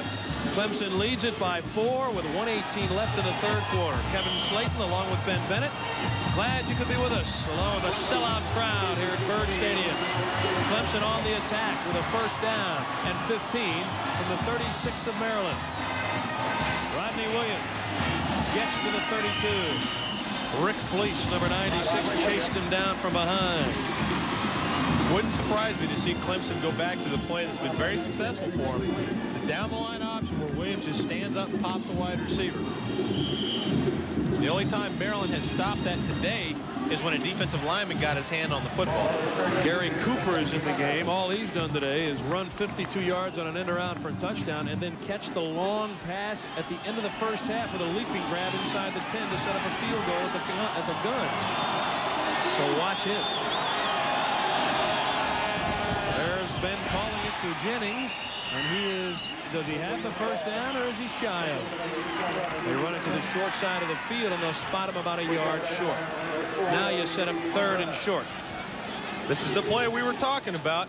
Rodney Williams comes down the line. If he sees the coverage that he wants, he just stands up and guns the ball to Jennings.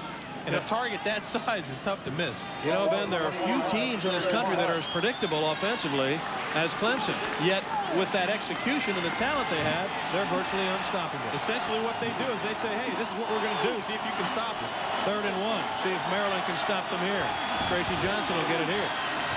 No, Williams tucks it in himself. So in all of the short yardage plays, they've given the ball to Tracy Johnson. This time, they faked it to him. He got tackled for a loss, by the way. well, the key to the whole thing, and, and it was interesting that you would say that, well, Tracy Johnson's going to get the football, is just like when Maryland had third and short and faked the run. If you go with conventional thinking, a lot of times you can, you can second guess yourself. If you try and use that to your advantage, sometimes it'll work out for a big, big plus. The third quarter will be coming to an end. Five seconds ticking away.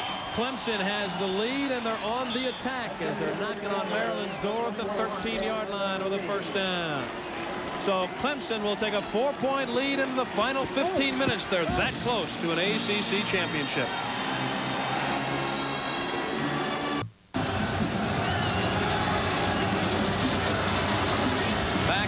Stadium, 11-point Clemson lead. We're just into the fourth quarter. Don't forget the announcer of this game, approved and selected by Jefferson Pilot Teleproductions. Any rebroadcast, retransmission, unauthorized duplication or reception of this broadcast without the express written permission of Jefferson Pilot Teleproductions is prohibited. Clemson ready to kick off after taking it in to take the 28-17 lead. And now Neil O'Donnell is going to have to pull off a patented Maryland miracle. And they can do it. They've been behind several times this season and managed to come back and win. Lowry at the two. He looked to see if he was in the end zone. And he comes out short of the 20. That little hesitation may have cost him some extra yardage. It was interesting. I, I don't know if he knew exactly where he was on the field. I've never seen that before, but they're a yard shy of the 20, and I'll have to start from there as Mitch Belton dropped him before he could get to the 20. Well, the big key for Maryland here is to realize that they don't have to get it all back in one fell swoop. Just do the things that they've been doing well this afternoon, execute, not turn the football over. They'll be all right. First down. Green in motion. O'Donnell for the air. Nice safe pass out to Lowry. Woolford trips him up as he crosses the 20. Maryland has been outgained 160 to 29 here in the second half. This is only the second possession for the Terps since they went into the locker room. That's another thing, Ben. You start thinking maybe they're a little rusty. Well, you know, there is a breeze blowing, and it's kind of nippy out there. And when you start, when you stand on the sidelines for a long time, you tend to get tight, and you get out of your rhythm.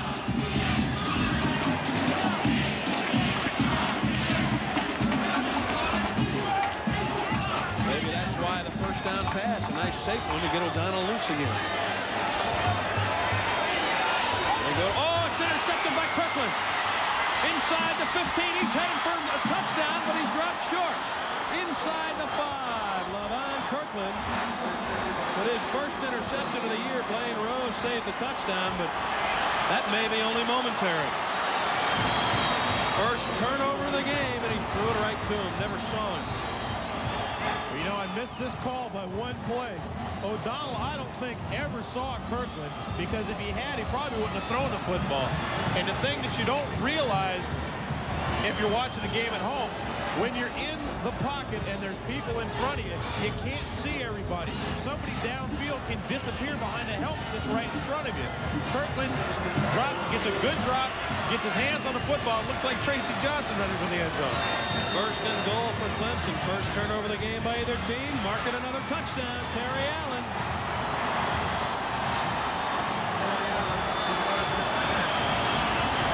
He takes it in from four yards out.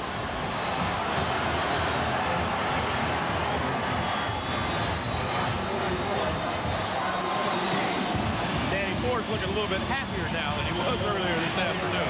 Sees a trip to the Florida Citrus Bowl well within his grasp now. Eighth rushing touchdown of the year for Terry Allen.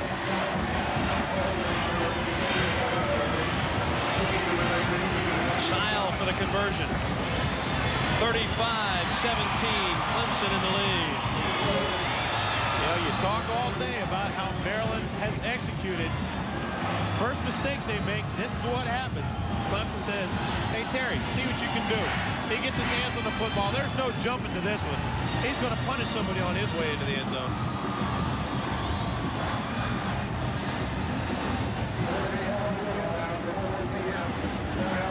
And again, Chip Davis downfield keeps the defensive back off balance. 13:48 remains. The uphill battle for Maryland has just gotten steeper. We'll return to Byrd Stadium for more ACC action in a moment. Back live at Byrd Stadium, Kevin Slayton and Ben Bennett in a game that would decide the ACC championship. Clemson, after an interception by Levon Kirkland, has gone in again, and they now lead 35-17. A few moments ago, it was 21-17.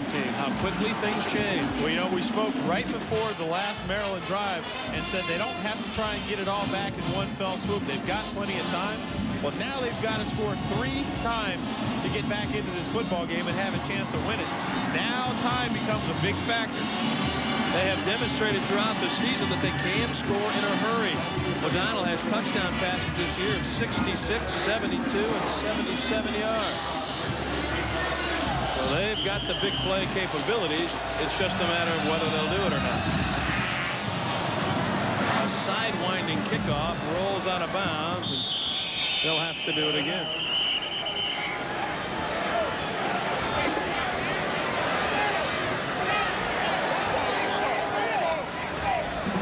Don't forget our games next Saturday. North Carolina battles Duke in that interstate rivalry. 12 noon. Five-yard penalty. And Maryland and Virginia. If you don't see the North Carolina Duke game, you'll either see Maryland and Virginia or South Carolina at Clemson. That one's a 1 o'clock start, and that is where Ben and I will be. And you want to talk about three wars. That, I mean, you're talking fighting to the death when these teams get together. Virginia and Maryland right back to back. They don't like each other very much. And you know Clemson and South Carolina are not best of buddies. Joe Krivak told me yesterday time of possession would be important. He was able to hold his own in the first half, but in the second half, it's almost two to one in favor of Clemson.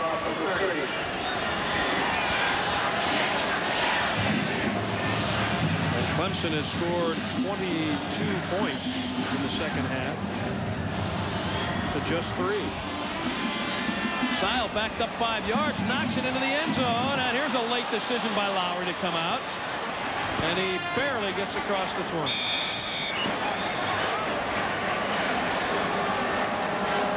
So now the work is cut out for Neil O'Donnell. Sile heads to the sidelines. They need one of those patented long pass plays for a touchdown. Well, what they need to do, right, they don't need to take real big chances, but they need to start pitching the ball downfield and trying to get as and trying to get points quickly. Ooh, he flips it outside to Beasley, who is in trouble at the original line of scrimmage. That's not the kind of play that'll get it done in a hurry. Richard McCullough over there to drop him, number 96. Well, when you got a back like Beasley, he can turn a short pass into a long gain. But you got to remember, you're playing against a very, very experienced and a extremely talented Clemson defense. That secondary there matches up with any in the country. Davis, Lott, Beasley, and Woolford. Woolford, of course, the Thorpe Trophy candidate. He and Beasley are the only seniors in that secondary. O'Donnell throwing it behind Dean Green. Dexter Davis, who's a freshman, was right with him. How good do you think he'll be in four years? They just keep plugging them in out there. We talked about earlier about when Neil O'Donnell throws on rhythm, he's been perfect. When he when they've gotten him off of his rhythm a little bit, he's missed. That time he had his receiver open early, Dean Green, but he had to move outside a little bit farther than he wanted to, forced him to deliver the ball late, subsequently had to throw it behind him to avoid the interception. He's 10 of 15 for 115 yards, a touchdown, and one costly interception that set up a Clemson touchdown. That happened moments ago.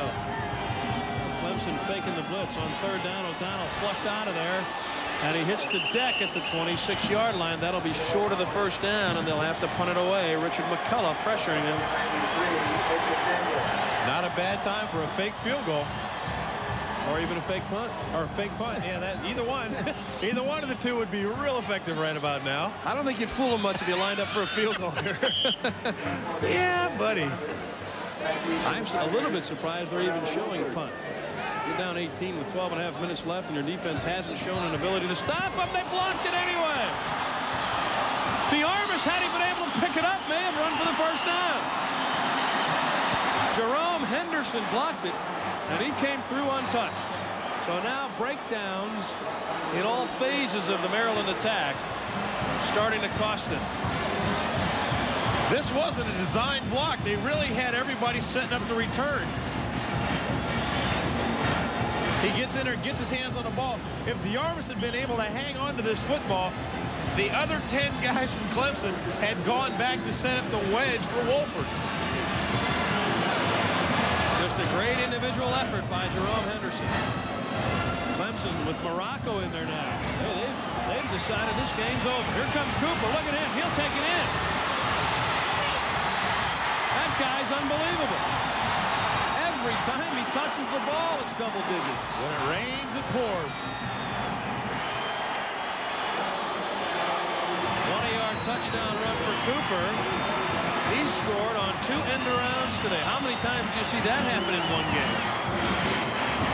Know, like I said earlier, it looks like a gadget play. A lot of people say, oh, they're trying to trick Maryland. But in reality, that's a very, very integral part of their offense because they run the football so well. And we keep saying how they just run the same plays and execute them. When you throw in a wrinkle like that, nine times out of ten, it's going to be successful. Sile for the conversion, 42-17. Remember, it was 21-17 after three quarters. And we haven't even played three full minutes of the, of the fourth quarter. You can see on the reverse, this is the same play he scored on earlier.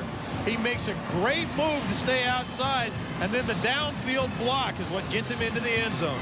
They've scored three touchdowns in less than three minutes. Give a lot of credit to Eric Harmon. We'll be back with more ACC action in a moment.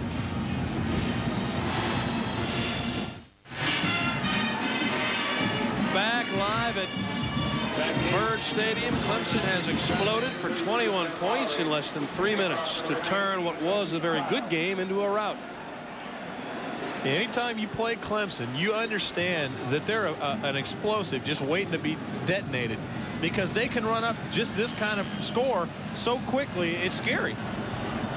They intercepted a pass and set their offense up with first and goal. Then they blocked the punt and set them up at the 20. Those two touchdown drives lasted all of four and eight seconds. And the hitting continues to be vicious on special teams. Wayne Harps, who's made two big hits today, number 16 for Clemson, does it again. You know, I watched him the whole way down because he was the one that laid that big hit on Lowry a couple of kickoffs ago. And I watched him, and boy, he ran through and avoided two blockers, had his eye on the on the ball carrier the whole way, and got in and made the tackle. You can't ask for anything more than that. A lot of the sellout crowd is headed for the exits after that last Clemson touchdown. Exactly 12 minutes left. Lowry cuts to the sideline.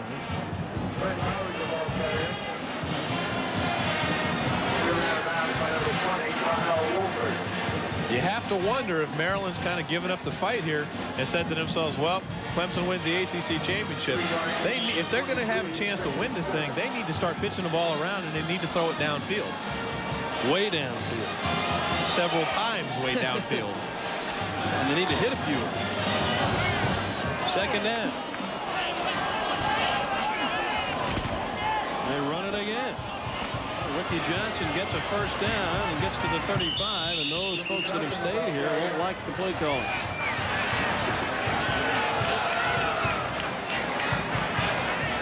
Maryland had the lead at halftime, 14-13, but the Clemson offense has just been too consistent against the Maryland defense here in the second half. They have just simply overpowered them. They took the opening kickoff of the second half and drove in for a touchdown. Ben mentioned at that point that the first five minutes of the second half dictates the remainder of the game. It was never more true than it was here today. O'Donnell on first down has it batted away. Great defensive work that time from Reggie Harris, number 24, the junior out of Gaffney, South Carolina. He got his hands up and knocked it down. Some of the other scores from around the country, Syracuse and Boston College have been waging a war all day. The Orangemen have an eight-point lead. Wake leads Georgia Tech by just three. It's a whale of a game there. Ohio State has come from two touchdowns behind to tie Iowa in the third quarter. LSU struggling over Mississippi State. They lead by four. How about that one? North Carolina State with a one-point lead over Duke in the third quarter. Winner of that game is probably going to get a bid to the All-American Bowl. O'Donnell, shaking tacklers, goes down at about the 36-yard line. Mervin Green, number 99, in on the play for Clemson. And we were talking about the NC State Duke game. It looks like the winner of that game will go down to the All-American Bowl and fa face the winner of the Florida-Kentucky game. Florida and Kentucky playing today. Their game started later than ours. That one is at Kentucky. You got to like the Wildcats at home, and that Florida has really fallen on some hard times after a 4-0 start. Down the middle they go to Johnson. He eludes a tackler and is very close to a first down. Ed McDaniel on the stop. for Clemson. Nine-yard pickup. Johnson made a great move after the catch to make sure that he didn't get knocked out. Because had he caught the ball and turned straight up the field, both of Clemson linebackers had a beat on the back of his head. Officials asked for a timeout. They're going to measure and see if they've got the first down. When you look at the Maryland football program, there's the Tiger knocking the turf out, as has happened on the field also. When you look at Maryland, you have to think the help is needed defensively. They have given up some big numbers this year in terms of yardage and points. They're a little bit shy of the first down here, but that offensive unit, most of which returns intact next season. They'll lose Vernon Joines, the senior wide receiver, but Everybody else, with the exception of left guard Rich Nelson, is back. But defensively, they need some work. That's the way it has gone today. You see the explosion in the fourth quarter. Two of those touchdowns, one set up by an interception return to the four-yard line, another by a blocked punt at the 20. Fourth and short. O'Donnell just ducks his head and picks up the first down. Boy, you gotta love that. When it's crunch time, give it to your most dependable, intestinally tough player. Give it to your quarterback. Whatever works. 42-17, Clemson. Tell you what, the Florida Citrus Bowl scouts in attendance here today happen to love what they're seeing in terms of their representative in the Florida Citrus Bowl. Clemson with a good chance at enhancing their national image if they can win today by the large score that they've posted and win again next week against South Carolina. They came into today's game ranked 16th. Should be a great game next week. South Carolina, although they're coming off of some serious trouble at Florida State, they'll always be up for Clemson. 9.32 remaining. We'll return for more ACC football after you see this. Back live, Byrd Stadium. The Clemson band is happy. Kevin Slayton along with Ben Bennett. Maryland had the lead at halftime in this game. But all nine times, Clemson has been in Maryland territory today that they've had possession. So that sort of tells the story about the way their offense has dominated the Maryland defense. Maryland, on the other hand, trying to get something going here with nine and a half minutes left. They run it with Ricky Johnson. He's across midfield in the Clemson territory. Levon Kirkland, number 44, made the tackle. Danny Ford getting a lot of playing time now for his backup people. Of course, he, play, he goes about 22 deep defensively every game anyway, at least. They get guys coming in there with the same numbers and no names on the back of their jersey. You know he's getting some playing time for his younger kids. Second down pass play. Runs it for Lowry. Has it. Eludes Smith on the sideline. And he stepped out of bounds at the 38-yard line. So they'll have a first down.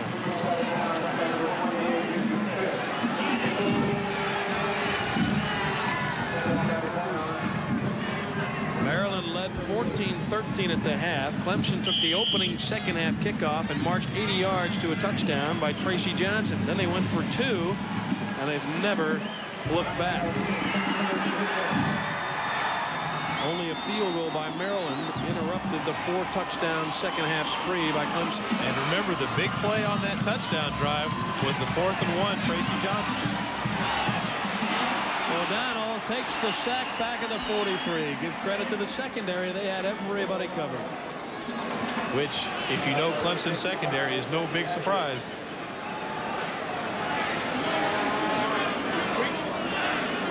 If you're Neil O'Donnell here, you're down by a country mile. You got to think to yourself, hey, maybe I'll just throw this one up and hope I get a jump ball. But he decides to hang on to the football, and that's what happens when you do. Second and 15 after a five-yard loss. Joe Krivak had his team fired up at the start. They took the opening kickoff and drove 76 yards and scored. That got Clemson's attention in a hurry nearly picked off. As it is, Richard Smith makes a great play. Here's a guy that makes a play like that, and he can't even get any playing time. Penalty flag is down.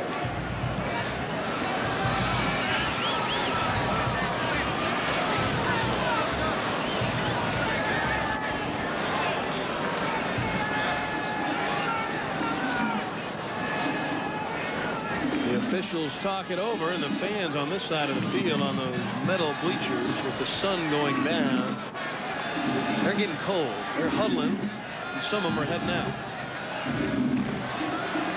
Ineligible receiver downfield. So we'll see what Clemson elects to do. 8.03 remaining, 42-17, Clemson in the lead.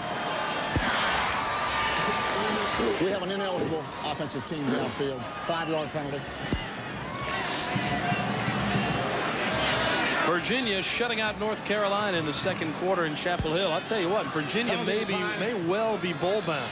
That's a team that's gunning for the fourth straight win would go to six and four. Next Saturday, North Carolina battles Duke. You'll see that one at noon, or Maryland goes to Virginia. Also a noon kickoff. Or South Carolina at Clemson. That game kicks off at 1 o'clock all Eastern time. Check your local listings to see which game you'll see in your area. But Virginia has very quietly run up what looks to be four consecutive victories and that big lead in their game. Look at Lott. Talk about a sure tackle.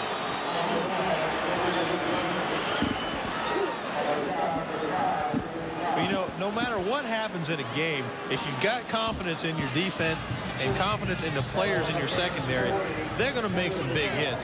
When you got a lead like this, all you have to do is sit back and wait for something to happen, wait for somebody to come to you, and you're going to be able to lay some good leather to them.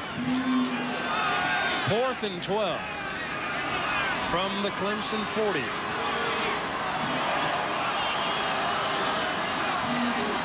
Clemson linebacker for eight yards deep. There's Joines with a leaping catch at the 20. Still on his feet. He gets to the 15.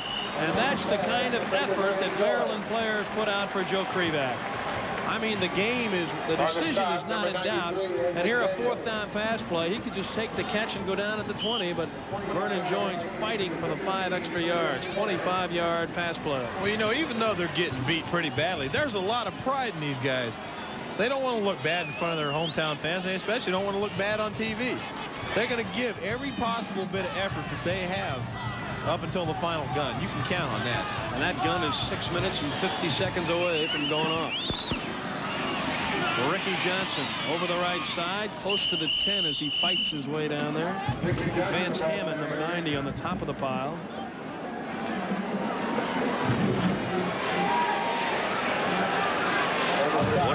You hope now, and both coaches will tell you this, if you get into a game that's this far out of hand, you hope you can come out of it healthy. Clemson, obviously, because they've got bowl aspirations, they've got some more. They got the game with South Carolina next weekend, and Maryland's got to play Virginia next weekend. You don't want to get your kids all banged up.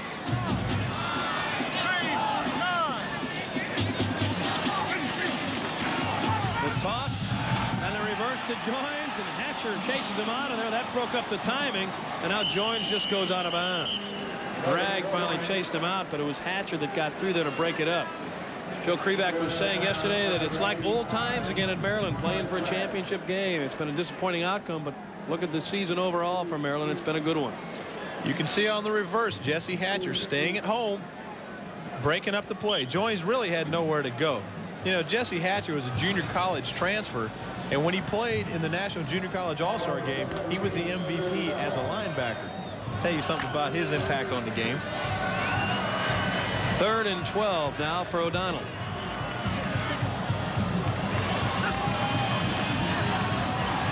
Has the time, throws for the end zone, and it's intercepted by Woolford, but he's out of bounds.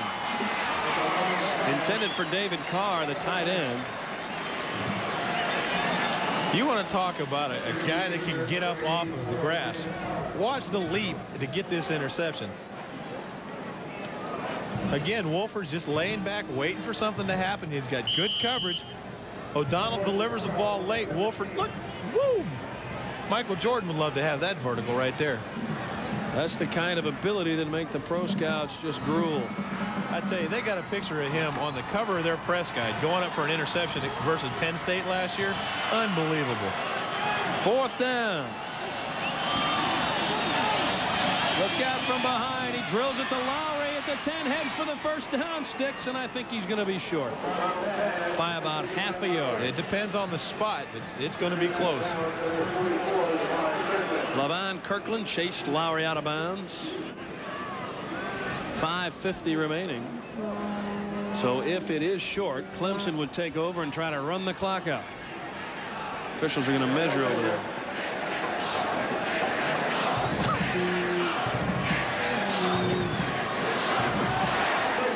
And they have it. So Maryland keeps alive its chances for scoring another touchdown just outside of the Clemson five-yard line.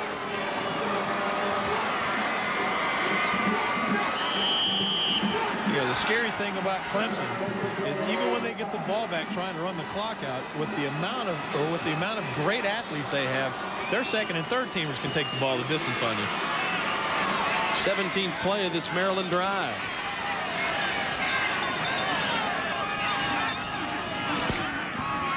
Inside handoff goes to Lowry as he punishes tacklers down to the two.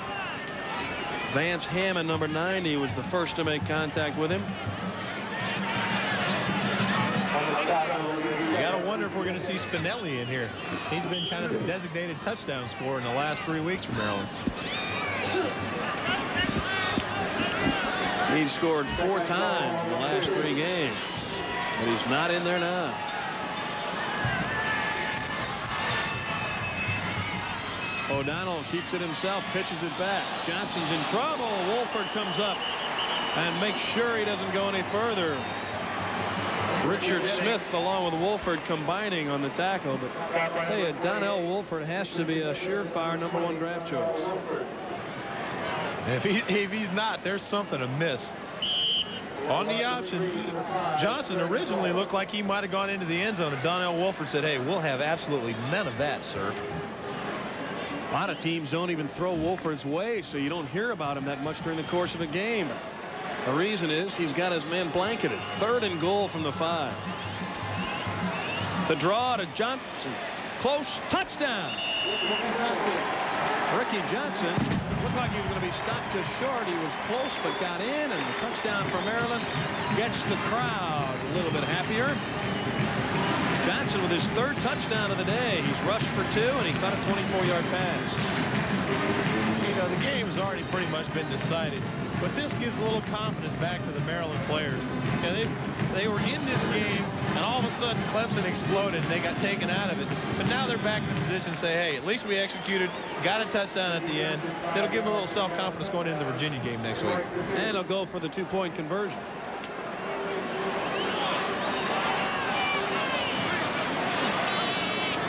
If they can indeed beat Virginia next week, it will give Maryland a winning season. O'Donnell can have to throw for it. Now he's in trouble, backing up. Now he flips it for Barry Johnson. Touch or conversion is good. Calling it a touchdown. We don't get six more. It's like that fake field goal. So the two-point conversion makes it 42-25. And this is a great effort by Neil O'Donnell. He's trying to hit John, or he's trying to hit the back in the flat. Oh, wrong one. This is the touchdown run. Great individual effort by Ricky Johnson. Now, the now on this, on the extra point, he's trying to hit Ricky Johnson in the flat. When he's not open, he backpedals, gives himself some time, and delivers the ball right before he gets hit. Touchdown. For extra point. It, it counts for two, whatever it is. All right, four and a half remaining. We'll be back after this message and a word from your local ACC station.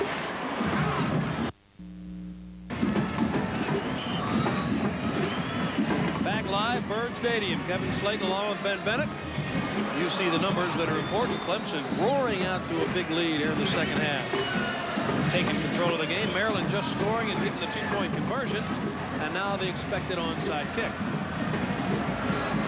Well, they could make the finish exciting if they would recover this one and go and score.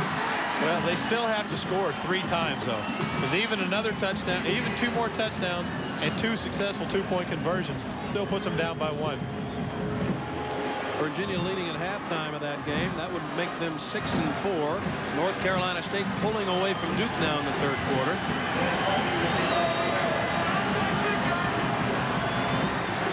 Boy, you look back at some of the early losses that Virginia suffered. There's a high pop-up type of onside kick. Rodney Fletcher making the grab for Clemson. And I want to tell you, you can tell when a team is very well coached. Some teams wouldn't know what to do when they pooch a, a kickoff. You can fair catch a kickoff, which means nobody can hit you while you're trying to get your hands on it. And that's what he did. So Clemson's mission now is to run out the clock. And they'll do it with Chris Morocco at quarterback, number eight. Reggie Lawrence comes in at tailback, number 34. There is Reggie with his first carry of the day. I tell you what, there may be a difference between the Clemson tailbacks, but it doesn't look like any in terms of effectiveness when they're in there because I don't care if it's Joe Henderson, Reggie Lawrence, or Terry Allen. We keep talking. It. They used to say Oklahoma had the best backfield in the country, and who was second best was Oklahoma's second team. I, I think Clemson can start to get up there now and make that claim because they are just so deep at the tailback and the fullback positions. 409 remaining. 318 yards rushing for Clemson to 122 today. Morocco still has it. He slides for the first down in the Maryland territory. So now all 10 times that Clemson has had the ball today, they've moved it into Maryland territory.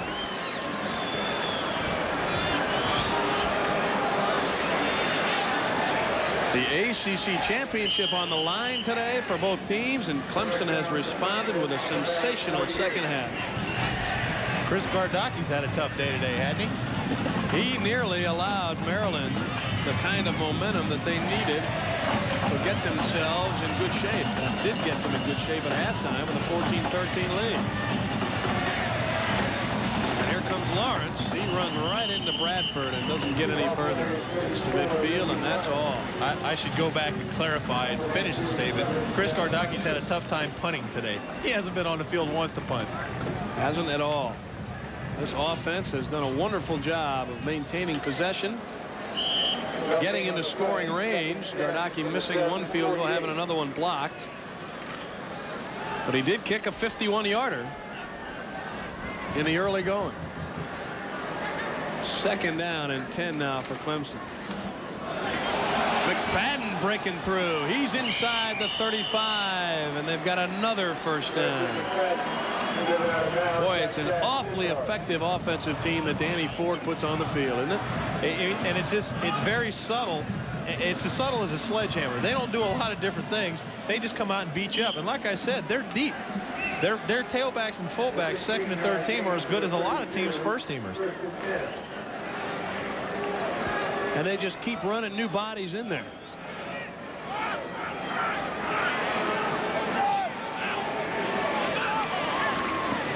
And the toss comes back inside the 30, down to the 20. Heading for Pater at the 5. Touchdown, Thompson.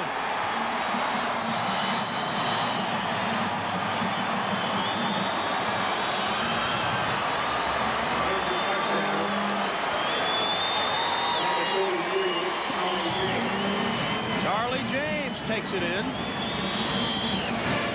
And you talk about, uh, we sit here and talk about how deep they are. And I told you, even their third and fourth teamers are so talented, they can take it the distance on you. All he did was ramble 32 yards. Well, they were supposed to run out the clock. But they, did, they didn't do it. 2.18 remaining. Sile comes on. The 49th Clemson point is tagged on. You know, and you got to understand, Danny Ford's not trying to run up the score. He's just simply putting his kids in, and they're running their base offense. They're just executing it to perfection. Five times they've had the ball in the second half. The result, five touchdowns. There's nothing sneaky to this play. They just pitch the ball to James and let him run with it. Watch the acceleration once he gets through and the effort once he gets his hands on the ball. They gave him a little gift at the end because his knees hit on the two, but that's all right. It's late in the game. He worked hard for it. He deserves it. His only carry of the game. 32 yards for the touchdown. That'll make that'll make his mommy and daddy pretty happy out there in the audience. Some of the young Clemson fans who made the trip up Danny Ford, pretty happy guy right now, shaking hands with James Coley, his tight end. Well, he knows he'll be playing January 2nd in the Florida Citrus Bowl. You know, it's great because so many teams in the ACC right now have a shot to go to a bowl game. Virginia, obviously, if they finish off today, and come back and beat Maryland next week, they've got a legitimate shot to go to a bowl game. The winner of the Duke State game can go to a bowl game, and even the loser of that game, should they come back and win the following week, Duke against North Carolina, they have an opportunity to be 7 and 4 and go to a bowl game. It's been a four touchdown fourth quarter for Clemson. Reminds folks of the Maryland West Virginia game earlier this season when Maryland was in the ball game midway through the third quarter, only to get blown out 55 to 24. They lose the handle on the kickoff. Ricky Johnson looked like he ran into his own man, Blaine Rose, the tight end. 2.11 remaining in this one. Wayne Harps again was down there on special teams for Clemson. 49 to 25, the Clemson Tigers. Not only winning the ACC championship today, but doing it with an exclamation part at the end. You know, we have an update on that North Carolina State Duke game, but Charlie James is being helped to the Clemson locker room after that touchdown run. He injured himself. Well, he went down pretty hard when he got tackled going into the end zone. Maybe that knee buckled. He's being he's hobbling over there up the hill to the end uh, to the locker room.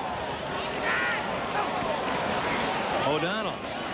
This is Zolak. Zolak in there now. Throws for Green, who has it go off his hand. You know, it was interesting reading some of the articles about Maryland in the offseason. They really felt like Zolak had the opportunity to come in here and compete for the starting job with Neil O'Donnell. Then O'Donnell's just come on and had a tremendous year for the University of Maryland. Scott Zolak, a sophomore, 6'5", 227 pounder. I got to tell you, this conference has got some of the biggest backup quarterbacks ever recorded. Kind of wait for a seven-footer to strut out. Some of the starters aren't too small either. Got a six-six freshman of North Carolina. Zolak floats it out there for Joines. He's run out of bounds on the far side at the 38 with 157 remaining. Richard Smith over there defending for Clemson. Well, if you're Joe Krivak, you're kind of hoping that your guys stay in bounds so this one can end just a little bit quicker. The sellout crowd really into it at halftime when Maryland had the lead. People are going to look at this score and not believe me, but they had the lead 14-13 at halftime. Everything fell apart in the second half, especially in the fourth quarter. 28 fourth quarter points.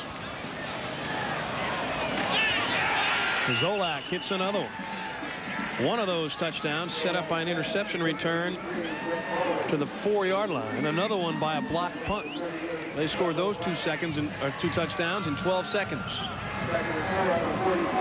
But really more than that, it was the offensive output of Clemson. As Zolak drops back to throw again, and he hits his man again. Dean Green breaking a tackle and finally wrestled to the turf. Joe Krivak, you gotta like the effort by your guys. You're you're essentially out of the game, and guys are still bouncing off of people and trying to move upfield. So a team that wasn't even expected to contend for the ACC championship, and then everybody's preseason pick battling here today for the right to represent the conference in the Florida Citrus Bowl, and Clemson coming out on top in a big way. But for Maryland, a very successful season with one game still to play, and that one's at Virginia, and a chance for a winning season in only the second year under Joe Krivak. And a lot of people don't realize the difference. Six and five and five and six. It's only a one-game swing. But boy, in the whole offseason, you can go back and say I had a winning record. It makes makes preparation for the next year a lot easier. They'll sneak it on fourth and inches. Clemson with better than 500 total yards today. I want to take the opportunity to thank our statistician Marty Aronoff and his son, our spotter John Aronoff. Fine job by both of those gentlemen. And then Joy Zucker, our stage manager up here in the booth, who did just a wonderful job making this telecast a lot more enjoyable. The lovely Miss Joy Zucker. 58 seconds remaining in this one. Zolak downfield for Johnson. He makes the catch in heavy traffic at the 30. What a grab. Barry Johnson, the sophomore. Boy, again, keep in mind that everybody except Joines and Rich Nelson, the left guard, return intact on this Maryland offensive unit. 22 yards on that play. Zolak throwing the ball well. That one intended for Rose, and Richard Smith was there defensively for Clemson. Well, they'd like to get another one in there. I can tell you, Zolak would like to throw one right here. He'd like to throw for six. Yo, Kevin, I got to tell you about an interesting letter I got the other day. A couple of occasions this year, you and I have happened to, to cross wires and talk at the same time. Got a letter that said that uh, I was trying to be a camera hog and I was egotistical. The letter went on to say, can't wait to see you at Christmas. Love, Dad. I'm telling you, anything to liven it up. Zolak in trouble. Harps has him and has the sack. But Wayne Harps has contributed so much today on special teams, and now he gets in there and gets himself a sack.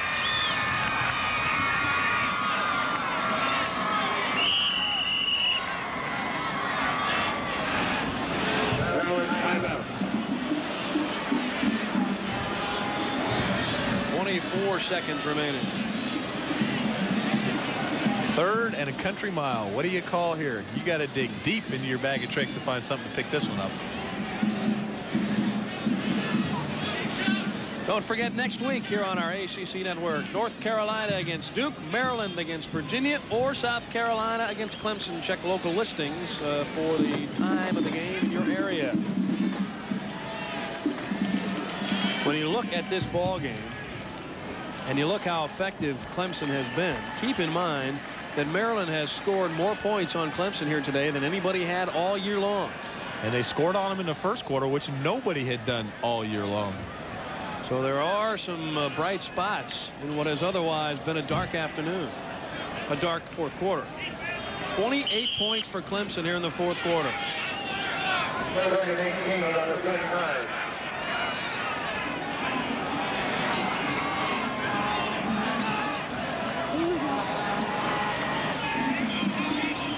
To the air, down the middle for Johnson. A leaping catch at the 14. And that third and 18 becomes a first down. That's a great pass. And you got to, if you look for the, the silver lining on the dark cloud, it's got to be the play of Zolak here late in the game.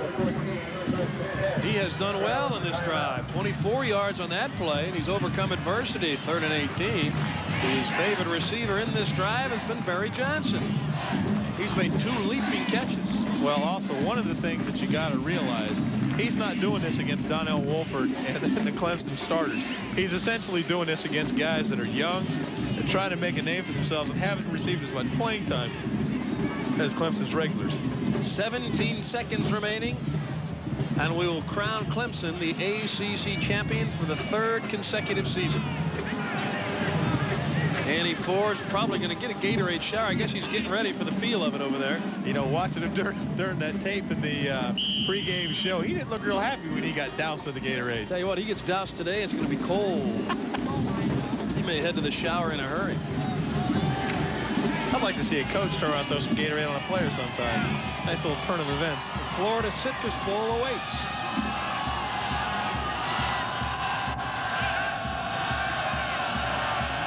Zolak trying to get him into the end zone. Throws it up for grabs for Johnson. Nearly has it intercepted. Always a dangerous play, but Jerome Henderson had the best shot at catching it for Clemson. Well, you got to think if you're going to throw a jump ball up there, you want Joines to get his hands on the ball. He's 6'1". Second 10 on the 14. We're going to try to get Danny Ford to stop by for a post-game interview. So stay with us when this one wraps up here from Byrd Stadium. Of course, we'll update you on all of the scores from around the country before we sign it off here from College Park.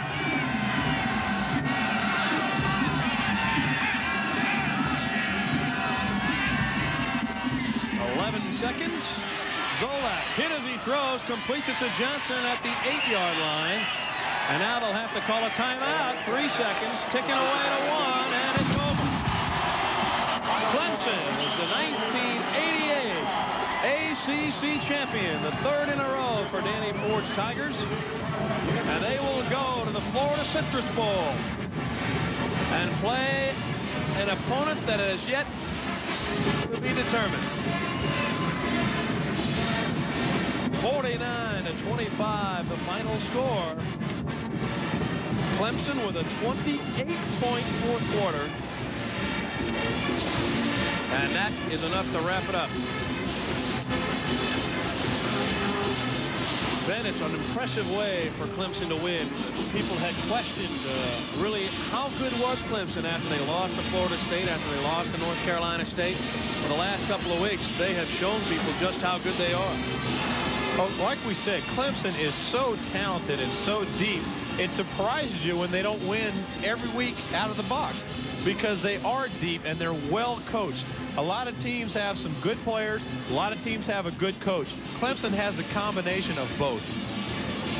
And they have played very well the last two weeks in blowouts over North Carolina and Maryland.